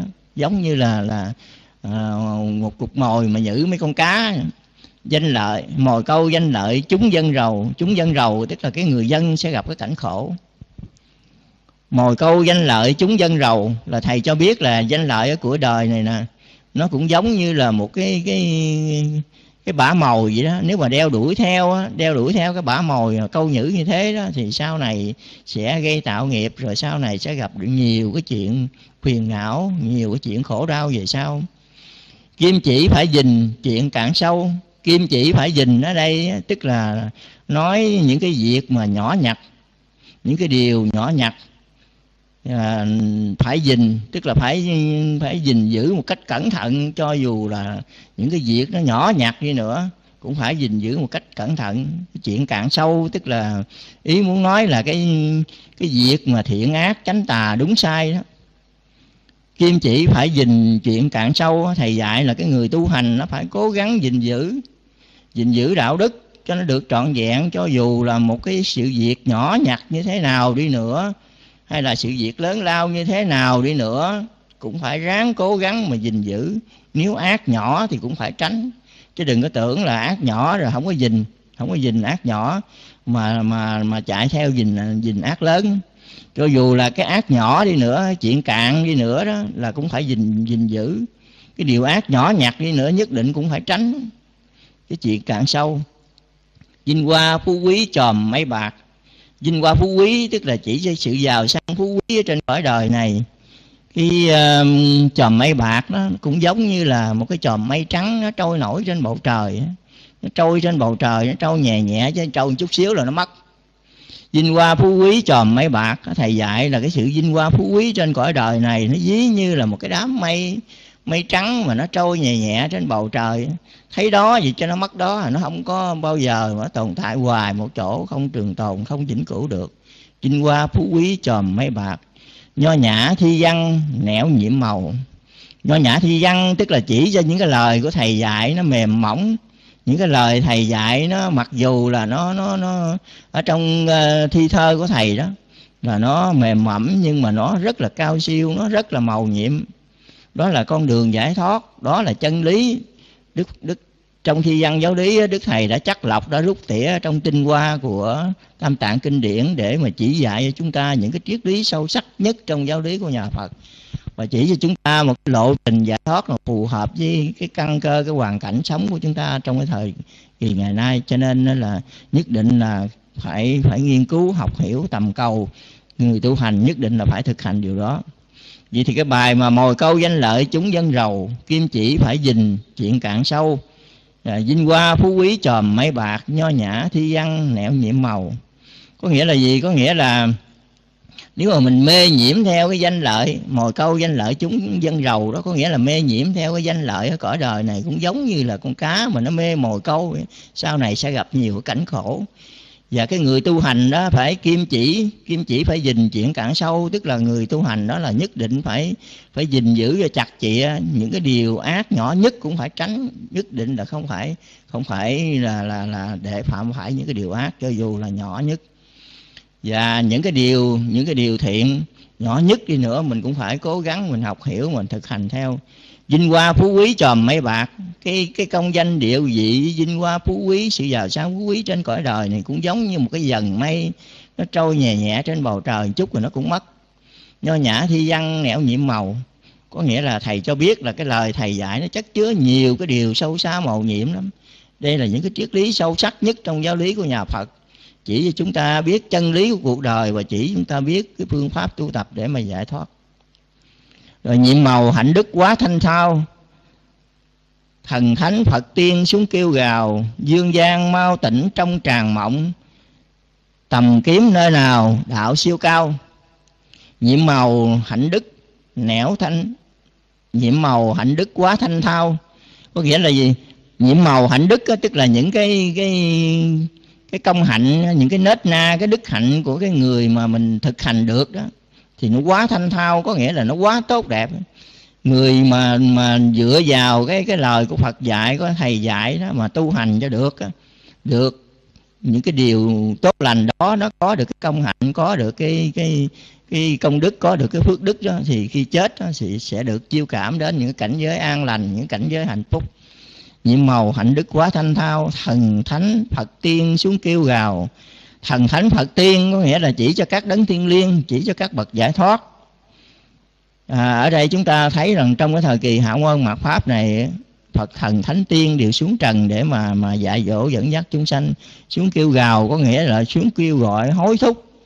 Với những cái lời lẽ mà mà kêu gọi hối thúc rất là là bức thiết để cho dân chúng tu hành dương gian mau tỉnh trong tràn mộng. Dương gian mau tỉnh có nghĩa là là cái người ở thế gian này nè, hãy mau mau tỉnh thức đi. Các người đang ngủ trong giấc mộng đó, các người sống trong cuộc đời này cũng giống như là các người đang nằm đang nằm ngủ một giấc một giấc mộng vậy dương gian mau tỉnh trong tràn mộng, có nghĩa là cái cảnh chúng ta đang sống đây cũng giống như là bằng cái trí tuệ của các bậc giác ngộ, bằng sự hiểu biết của các bậc giác ngộ với cái cuộc sống của con người ở thế gian cũng giống như là nằm ngủ một giấc cũng giống như là một giấc mộng, một giấc nam kha đó. Chúng ta thấy là là ngày xưa đó, trong văn học người ta có đề cập đến cái cái cái à, mẫu chuyện về nam kha ký đó. Của lý công tá đề nhà đường đó có à, diễn tả một tên thư sinh tên là thuần du phần thì khi mà đi lai kinh ứng thí đó, thì anh đi mệt quá cho nên anh mới nằm ngủ dưới gốc cây què ở quận nam kha. Và nằm ngủ trưa vậy đó thì anh ngủ anh ngủ sai đó cho nên anh mới anh mới nằm mộng. Anh thấy anh thi đậu trạng nguyên rồi được vua gả công chúa rồi được phong làm phò mã đi trú ở cái quận uh, xa quận nam kha nhưng mà một thời gian rồi thì giặc nó đến đánh rồi anh đánh không lại rồi công chúa bị bệnh rồi chết rồi rồi khi mà về triều thì vua vua uh, coi như là nghi ngờ anh tạo phản. Cho nên đó là là là cách chức anh hết toàn bộ và đuổi về làm thiếu dân. Lúc đó anh giật mình thức dậy. Từ đó người ta mới mới uh, lấy cái cái cái tích năm kha ký của uh, thuần du của uh, lý công tá đó. Người ta làm một cái một cái mẫu chuyện về cái à, trong văn học. Hãy nói đến năm kha, tức là người ta nói đến cái gì đó nó ngắn ngủi ngắn ngủi trong cuộc đời. Cho nên dương gian mau tỉnh trong tràn mộng có nghĩa là đức thầy khuyên khuyên hết tất cả mọi người, mọi tín đồ chúng ta nè, hãy mau mau thức tỉnh đi. Các người đang ngủ đó, các người đang ngủ một giấc đó, ngủ sai một giấc, ngủ sai đó. Tầm kiếm nơi nào đạo siêu cao, hãy mau mau tỉnh giác đi, hãy mau mau thức dậy đi tìm kiếm nơi nào đó tìm kiếm ở chỗ nơi nào đó mà có đạo cao siêu, đạo cao siêu cao. Đạo cao siêu cao ở đây là cái đạo mà mà mà giúp cho con người ta không có còn khổ nữa. Những cái à, cái à, giáo lý của nhà Phật đó giúp cho con người ta vượt ra cái cảnh khổ trong thực tại. Và giáo lý nhà Phật cũng có công năng giúp cho linh hồn con người ta đạt đến cái cảnh giới tốt lành, cảnh tiên đến cảnh tiên hoặc là đến cõi Phật. Cái cảnh giới hết sức là an lành, cho nên gọi đó là đạo cao siêu tầm kiếm nơi nào đạo siêu cao. Rồi tiếp đến là hòa thôn hảo cảnh xứ chi ta tạm dắt nhân sanh khỏi ái hà tạo sát quỳnh danh thanh sắc trẻ chờ thời thiên định thiết hùng ca. Bài này thì đức thầy muốn nói lên cái cái cái tâm sự của mình tâm sự của mình khi uh, xuống trần khi uh, xuống trần và chờ uh, để mà truyền bá Phật pháp rồi chờ cái thời thiên định chờ cái thời kỳ mà trời định đó để mà làm cái cái cái, cái việc lớn tức là lập hội long hoa sau này hòa thôn hảo cảnh xứ chi ta. Hòa thôn có nghĩa là thôn hòa hảo hảo cảnh có nghĩa là cảnh đẹp. Xứ chi ta có nghĩa là không có phải là cái xứ của ta. Hòa thôn hảo cảnh xứ chi ta thầy cho biết là cái thôn hòa hảo đó là cảnh đẹp thật sự. Đó là cái quê hương mà quê hương của đức thầy. Nhưng mà thực ra thì đó chỉ là cái, cái quê hương của cái thân tứ đại của đức thầy thôi. Đức thầy mượn cái thân xác mượn cái thân xác ừ, tứ đại ở thế gian này tạo sát phù dân khai nhất điểm, có nghĩa là mượn một chàng tuổi trẻ tục phàm đó. Thì hòa thôn hảo cảnh xứ chi ta, ở nơi đây không phải là thực sự là cái quê hương của thầy. Chúng ta cũng biết rằng đức thầy có cái có cái quê hương thực sự của ngài ở cảnh giới cõi tây phương cực lạc. Bồng lai, điên dại có ngôi ở tây phương cực lạc, khùng ngồi tòa sen.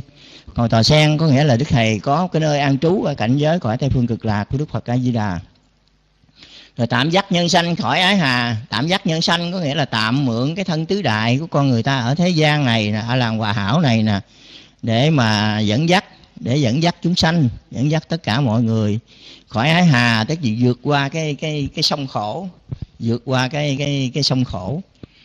À, cái sông khổ ở đây tức là ý chỉ cho cái cảnh thế gian cảnh mà chúng ta đang sống cái cảnh thế gian dường thể chốn ao tù hay là xét khỏi trần sống khổ giạt trôi đó đức thầy mượn cái thân xác tứ đại thế gian này để đức thầy dạy cho chúng sanh, dạy cho tín đồ chúng ta tu hành vượt qua cái cảnh khổ trong sanh tử luân hồi này.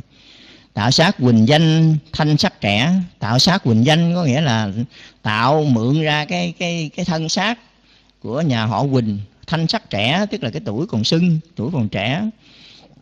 Tạo sát quỳnh danh thanh sắc trẻ, thầy cho biết là thầy mượn cái thân xác của người trẻ tuổi họ quỳnh để mà ở làng hòa hảo này để ra cơ giảng để mà mà dạy đời dẫn dắt chúng sanh tu hành giải thoát.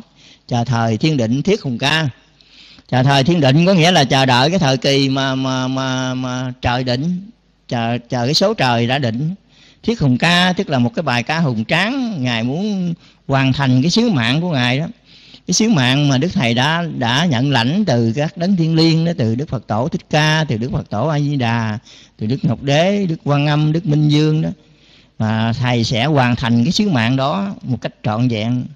Chờ thời thiên định thiết hùng ca, tức là chờ cái thời kỳ mà trời định, đức thầy mượn cái thân xác tứ đại ở làng hòa hảo này, một chàng trai, để mà mà ra cơ dạy giảng, dẫn dắt chúng sanh tu hành và chờ đợi cái thời kỳ trời định thì thầy sẽ thầy sẽ uh, hoàn thành cái sứ mạng mà ngài đã nhận lấy từ các đấng tối cao đó.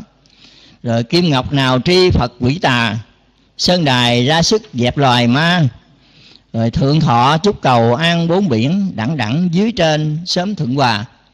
À, thưa quý vị thì à, hai câu giảng này bốn câu giảng này là rất là nhiều người đều nhất trí nhau là là đức thầy đang à, giới thiệu về hai cái nhân vật, hai nhân vật.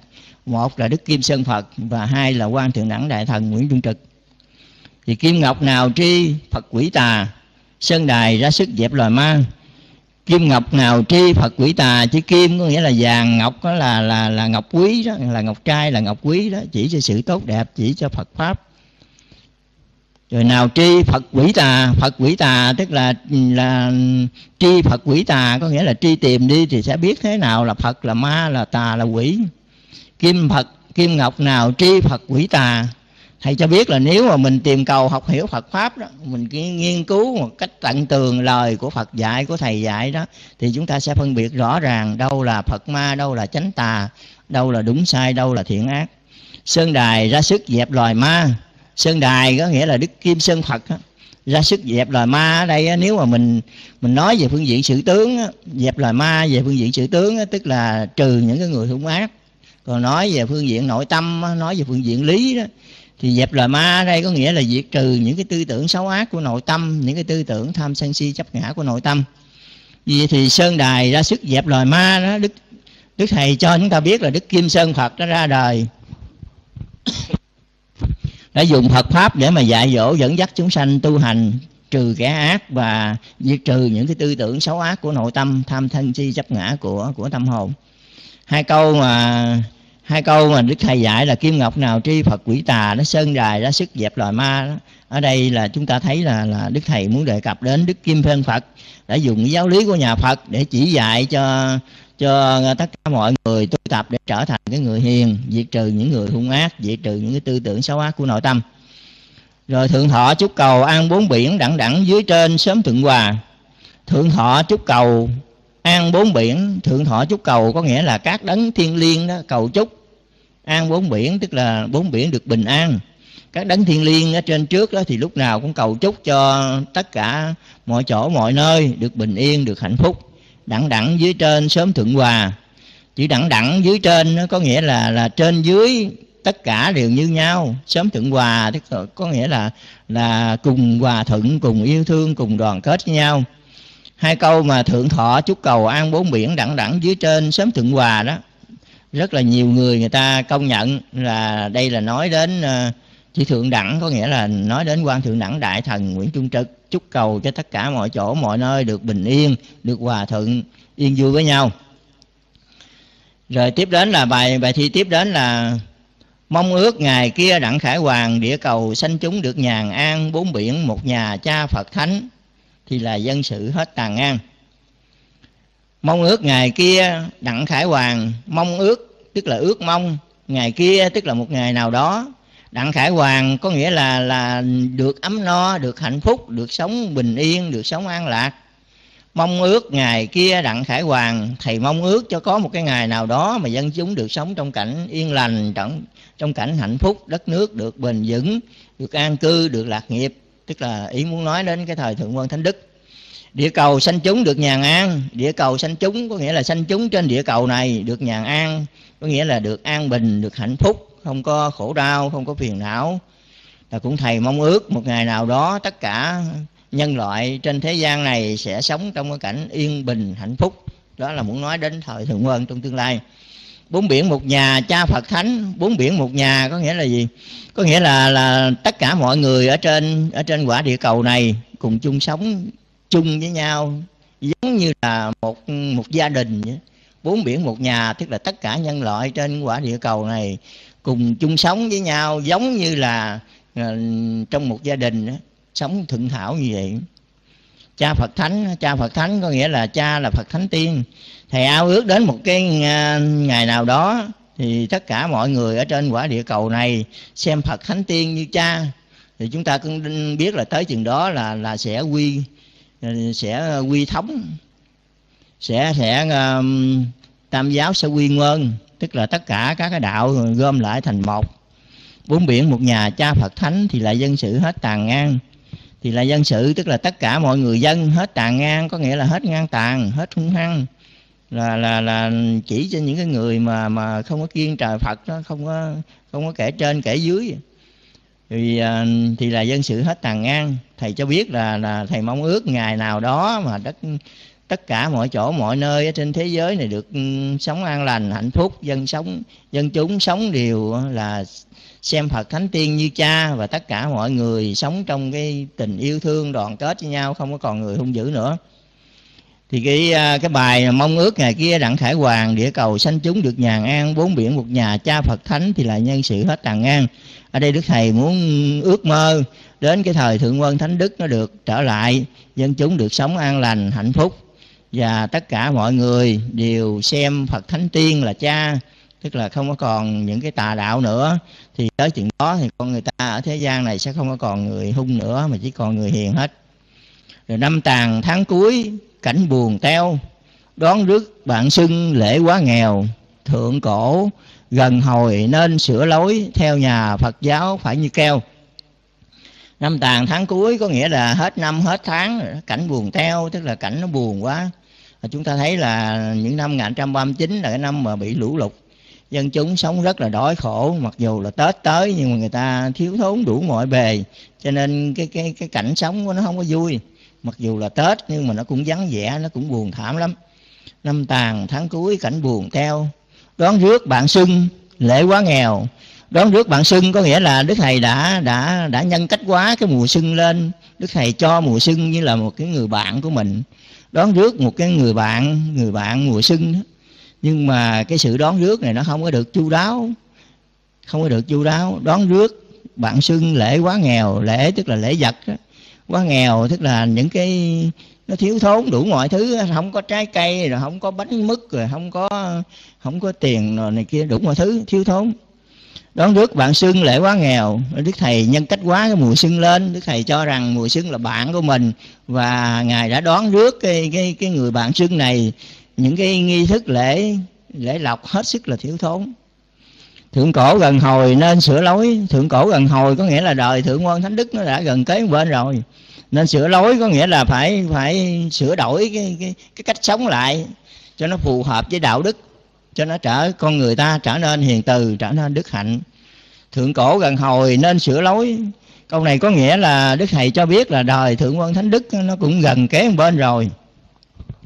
Cho nên con người ta muốn đến được cái cảnh giới đó là phải phải sửa đổi lại, phải sửa cái cái thân, cái khẩu, cái ý của mình. Phải hoàn thiện được cái đạo nhân, làm tốt cái trách nhiệm, bổn phận con người trong kiếp sống thì thì mới có thể đến được cái cảnh giới đó thượng cổ gần hồi nên sửa lối, theo nhà Phật giáo phải như keo. Theo nhà Phật giáo nghĩa là phải hết lòng theo theo giáo lý của nhà Phật. Phải quy theo tam bảo, phải hết lòng theo lời của Phật dạy, của thầy dạy. Bởi vì đức thầy đã chắc lọc, đã rút tỉa trong tinh hoa của tam tạng kinh điển. Dưới đây lược tả sách kinh cho trong nam nữ hữu tình thì coi là lành của phật truyền roi đọc qua suy nghiệm, xét soi chánh tà. Cho nên theo nhà phật giáo phải như keo đức thầy cho chúng ta biết rằng là là cái thời thương thánh đó đã gần kề một bên rồi. Phải ờ, nhất định là cái người muốn đến được cảnh giới đó phải quy y tam bảo và phải bám theo cái giáo lý của nhà Phật bám theo quyển sám giảng thi văn giáo lý của của thầy dạy đó và hành y theo đó cho nó chặt chẽ cũng giống như là nó, nó dính chặt giống như keo nó dính chặt nó không có rời theo nhà Phật giáo phải như keo. Rồi tiếp đến bài tiếp đến là dân chúng cho nên đốt giấy tiền bởi vì diêm chúa chẳng tình riêng phán quan tả hữu không dùng hối, nên phải dạy dân bỏ giấy tiền. Dân chúng cho nên đốt giấy tiền. Dân chúng cho nên có nghĩa là thầy khuyên người dân, khuyên tín đồ chúng ta đừng có nên đốt giấy tiền, tức là là đốt giấy tiền vàng bạc. Một cái một cái hủ tục mà được người Trung Hoa họ họ ờ, họ nhập vào trong đất nước Việt Nam mình. Và từ đó cho tới bây giờ là là người ta thường hay đốt giấy tiền vàng mã và cho tới bây giờ đó quý vị, ở ngoài miền Bắc đó, người ta tính là mỗi một năm người ta đốt tới à, khoảng 800 tỷ 800 tỷ tiền đốt với tiền vàng mã. Có những cái gia đình mà người ta à, giàu có đó, người ta đốt hàng hàng tới hai chục tấn nữa quý vị. Hai chục tấn với tiền vàng mã, cái, trong những cái ngày thanh minh. Quý vị thấy cái tiền nó phí của vô lý chưa? Dân chúng cho nên đốt giấy tiền mà nhưng mà đặc biệt là cái người miền tây mình cái người tín đồ phật giáo hòa hảo mình hiện nay thì nói trăm phần trăm thì quá đáng nhưng thực ra thì hầu như là không ai đốt giấy tiền vàng mã hết. Không ai đốt giấy tiền vàng mã.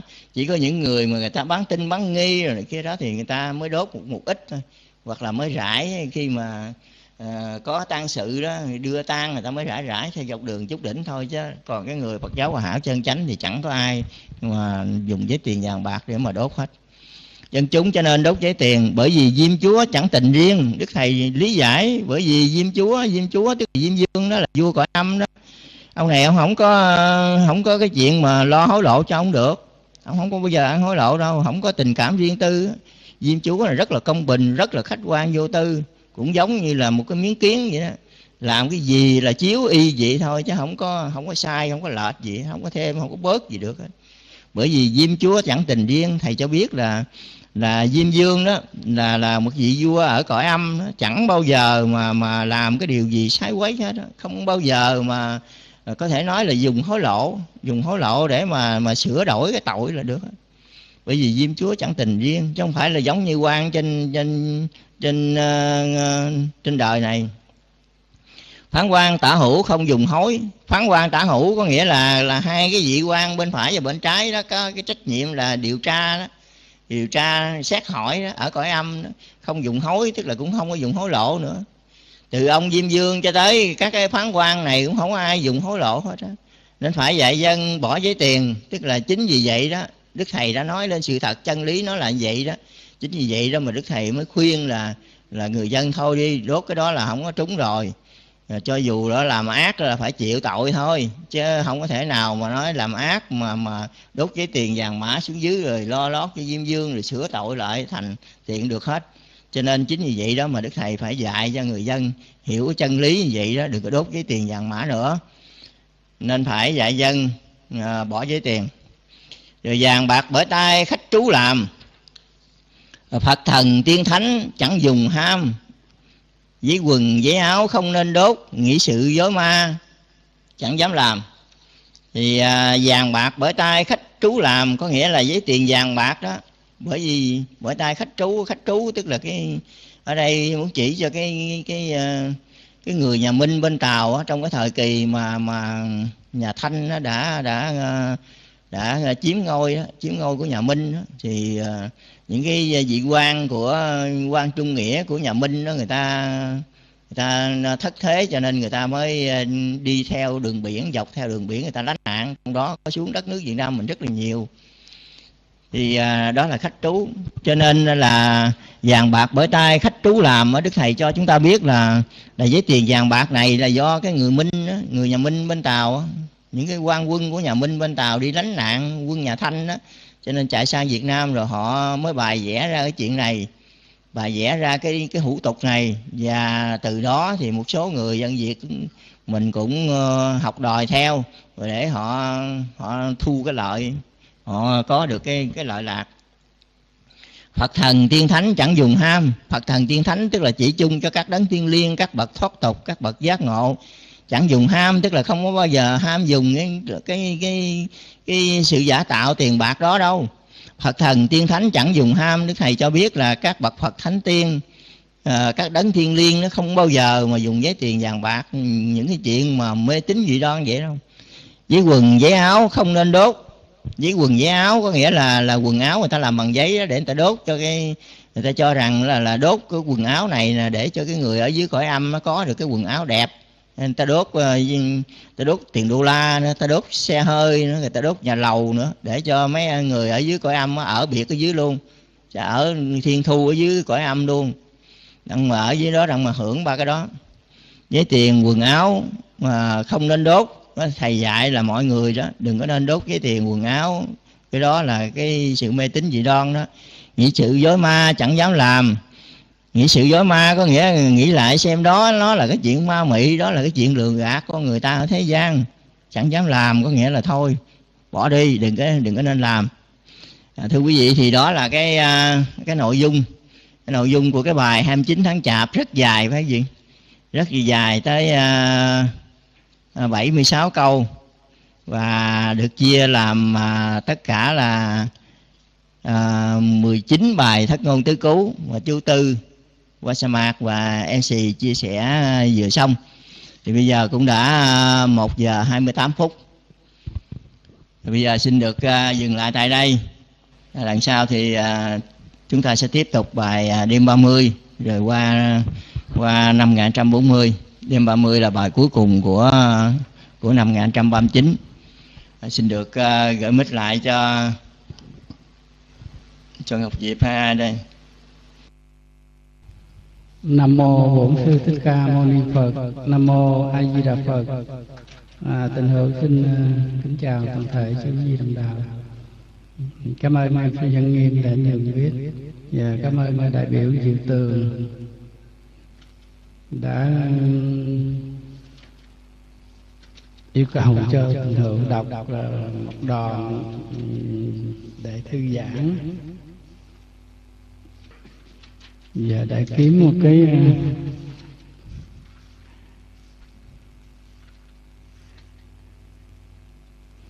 giờ thì à, tình hữu xin à, diễn ngăn là bài à, cho ông đỗ văn diễn à, sắp đổi đi làm việc ở xứ xa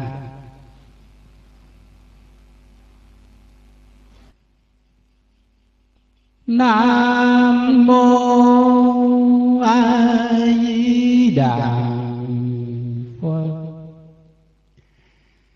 ngàn dặm đường xa cách ai qua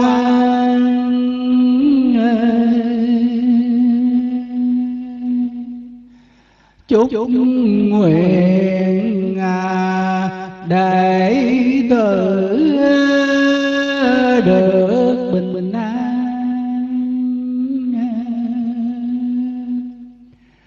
mong trời nhỏ phước cho dân thiện.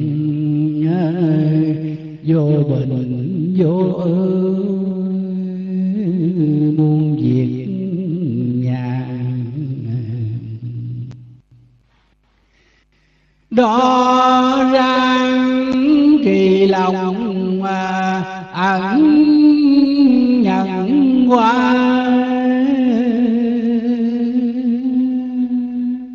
thì giờ hạnh phúc có đâu ra.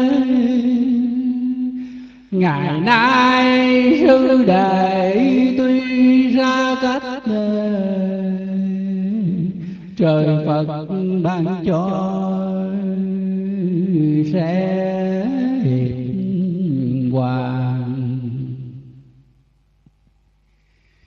cơn ngày à, thế giới à, lắm phong ba. Lừa lọc con tin diệt quỷ à, tà.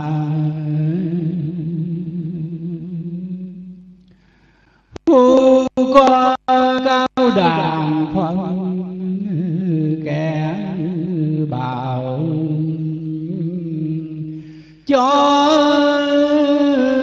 người lương thiện khỏi sông pha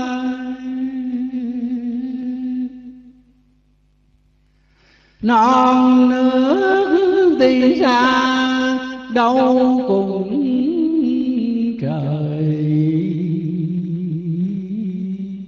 Cùng trời, cùng phật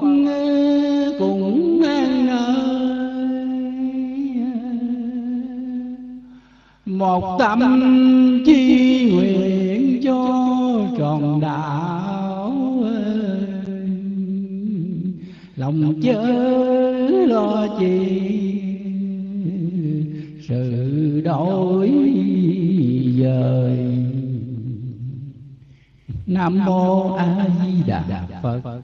Và nam mô di đà phật. Và dân à, tình hữu đó vừa đã ngâm xong bài cho